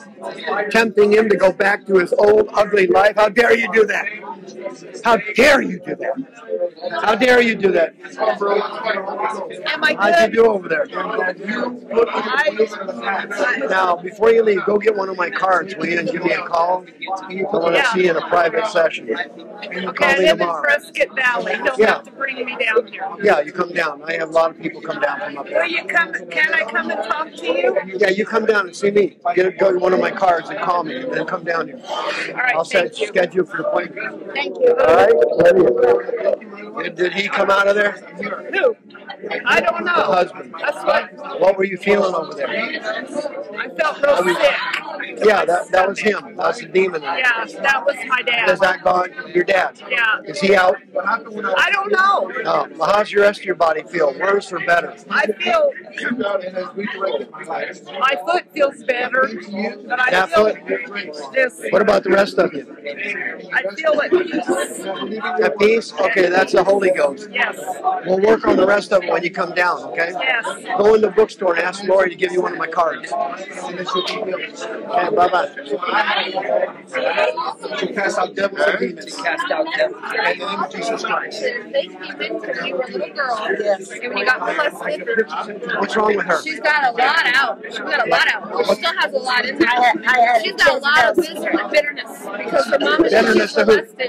Her mom, dad. I had a, a Jezebel spirit. I Now, think that's what I had. Let's skip that for a minute. Now, uh, your mother abused you? Grandmother's husband molested her. But my, okay, my grandmother and my mother would take me to me- uh, see mediums all the time. They did the Ouija board ever since I was born. grandmother or She mother? beats herself up. Yeah. Now listen, did you say any bad things about your mother when you were young? Yes, I did, and I asked Did God you used to hate her? No, I don't hate her. I No, used to. I used to, but I asked Okay, God now, now hold on a minute. Uh, now that causes a curse to fall on the kid. And then once that curse falls on you, then the other spirits get in after that. Okay? So go back right now, real quickly, to mother. What was her mother's name? Marie. Marie. Go back there right now. Father God, we command Marie and her evil spirits to come out of this body right now because we forget. There, there it comes. Here it comes. Keep coughing. There it comes. Go. Come out. Come out. Come on out. That's her right there. Keep coughing. Come out. Keep going. Don't stop. Keep coughing. Come out. Atta girl. Come out. Hey, brother. I came to see you. I told Karen I was going to see you. How are you? Good. Love you. Sounded like Rudolph right there for a second.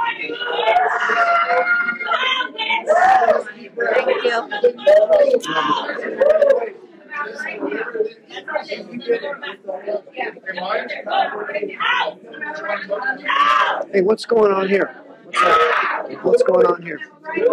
What you need, honey?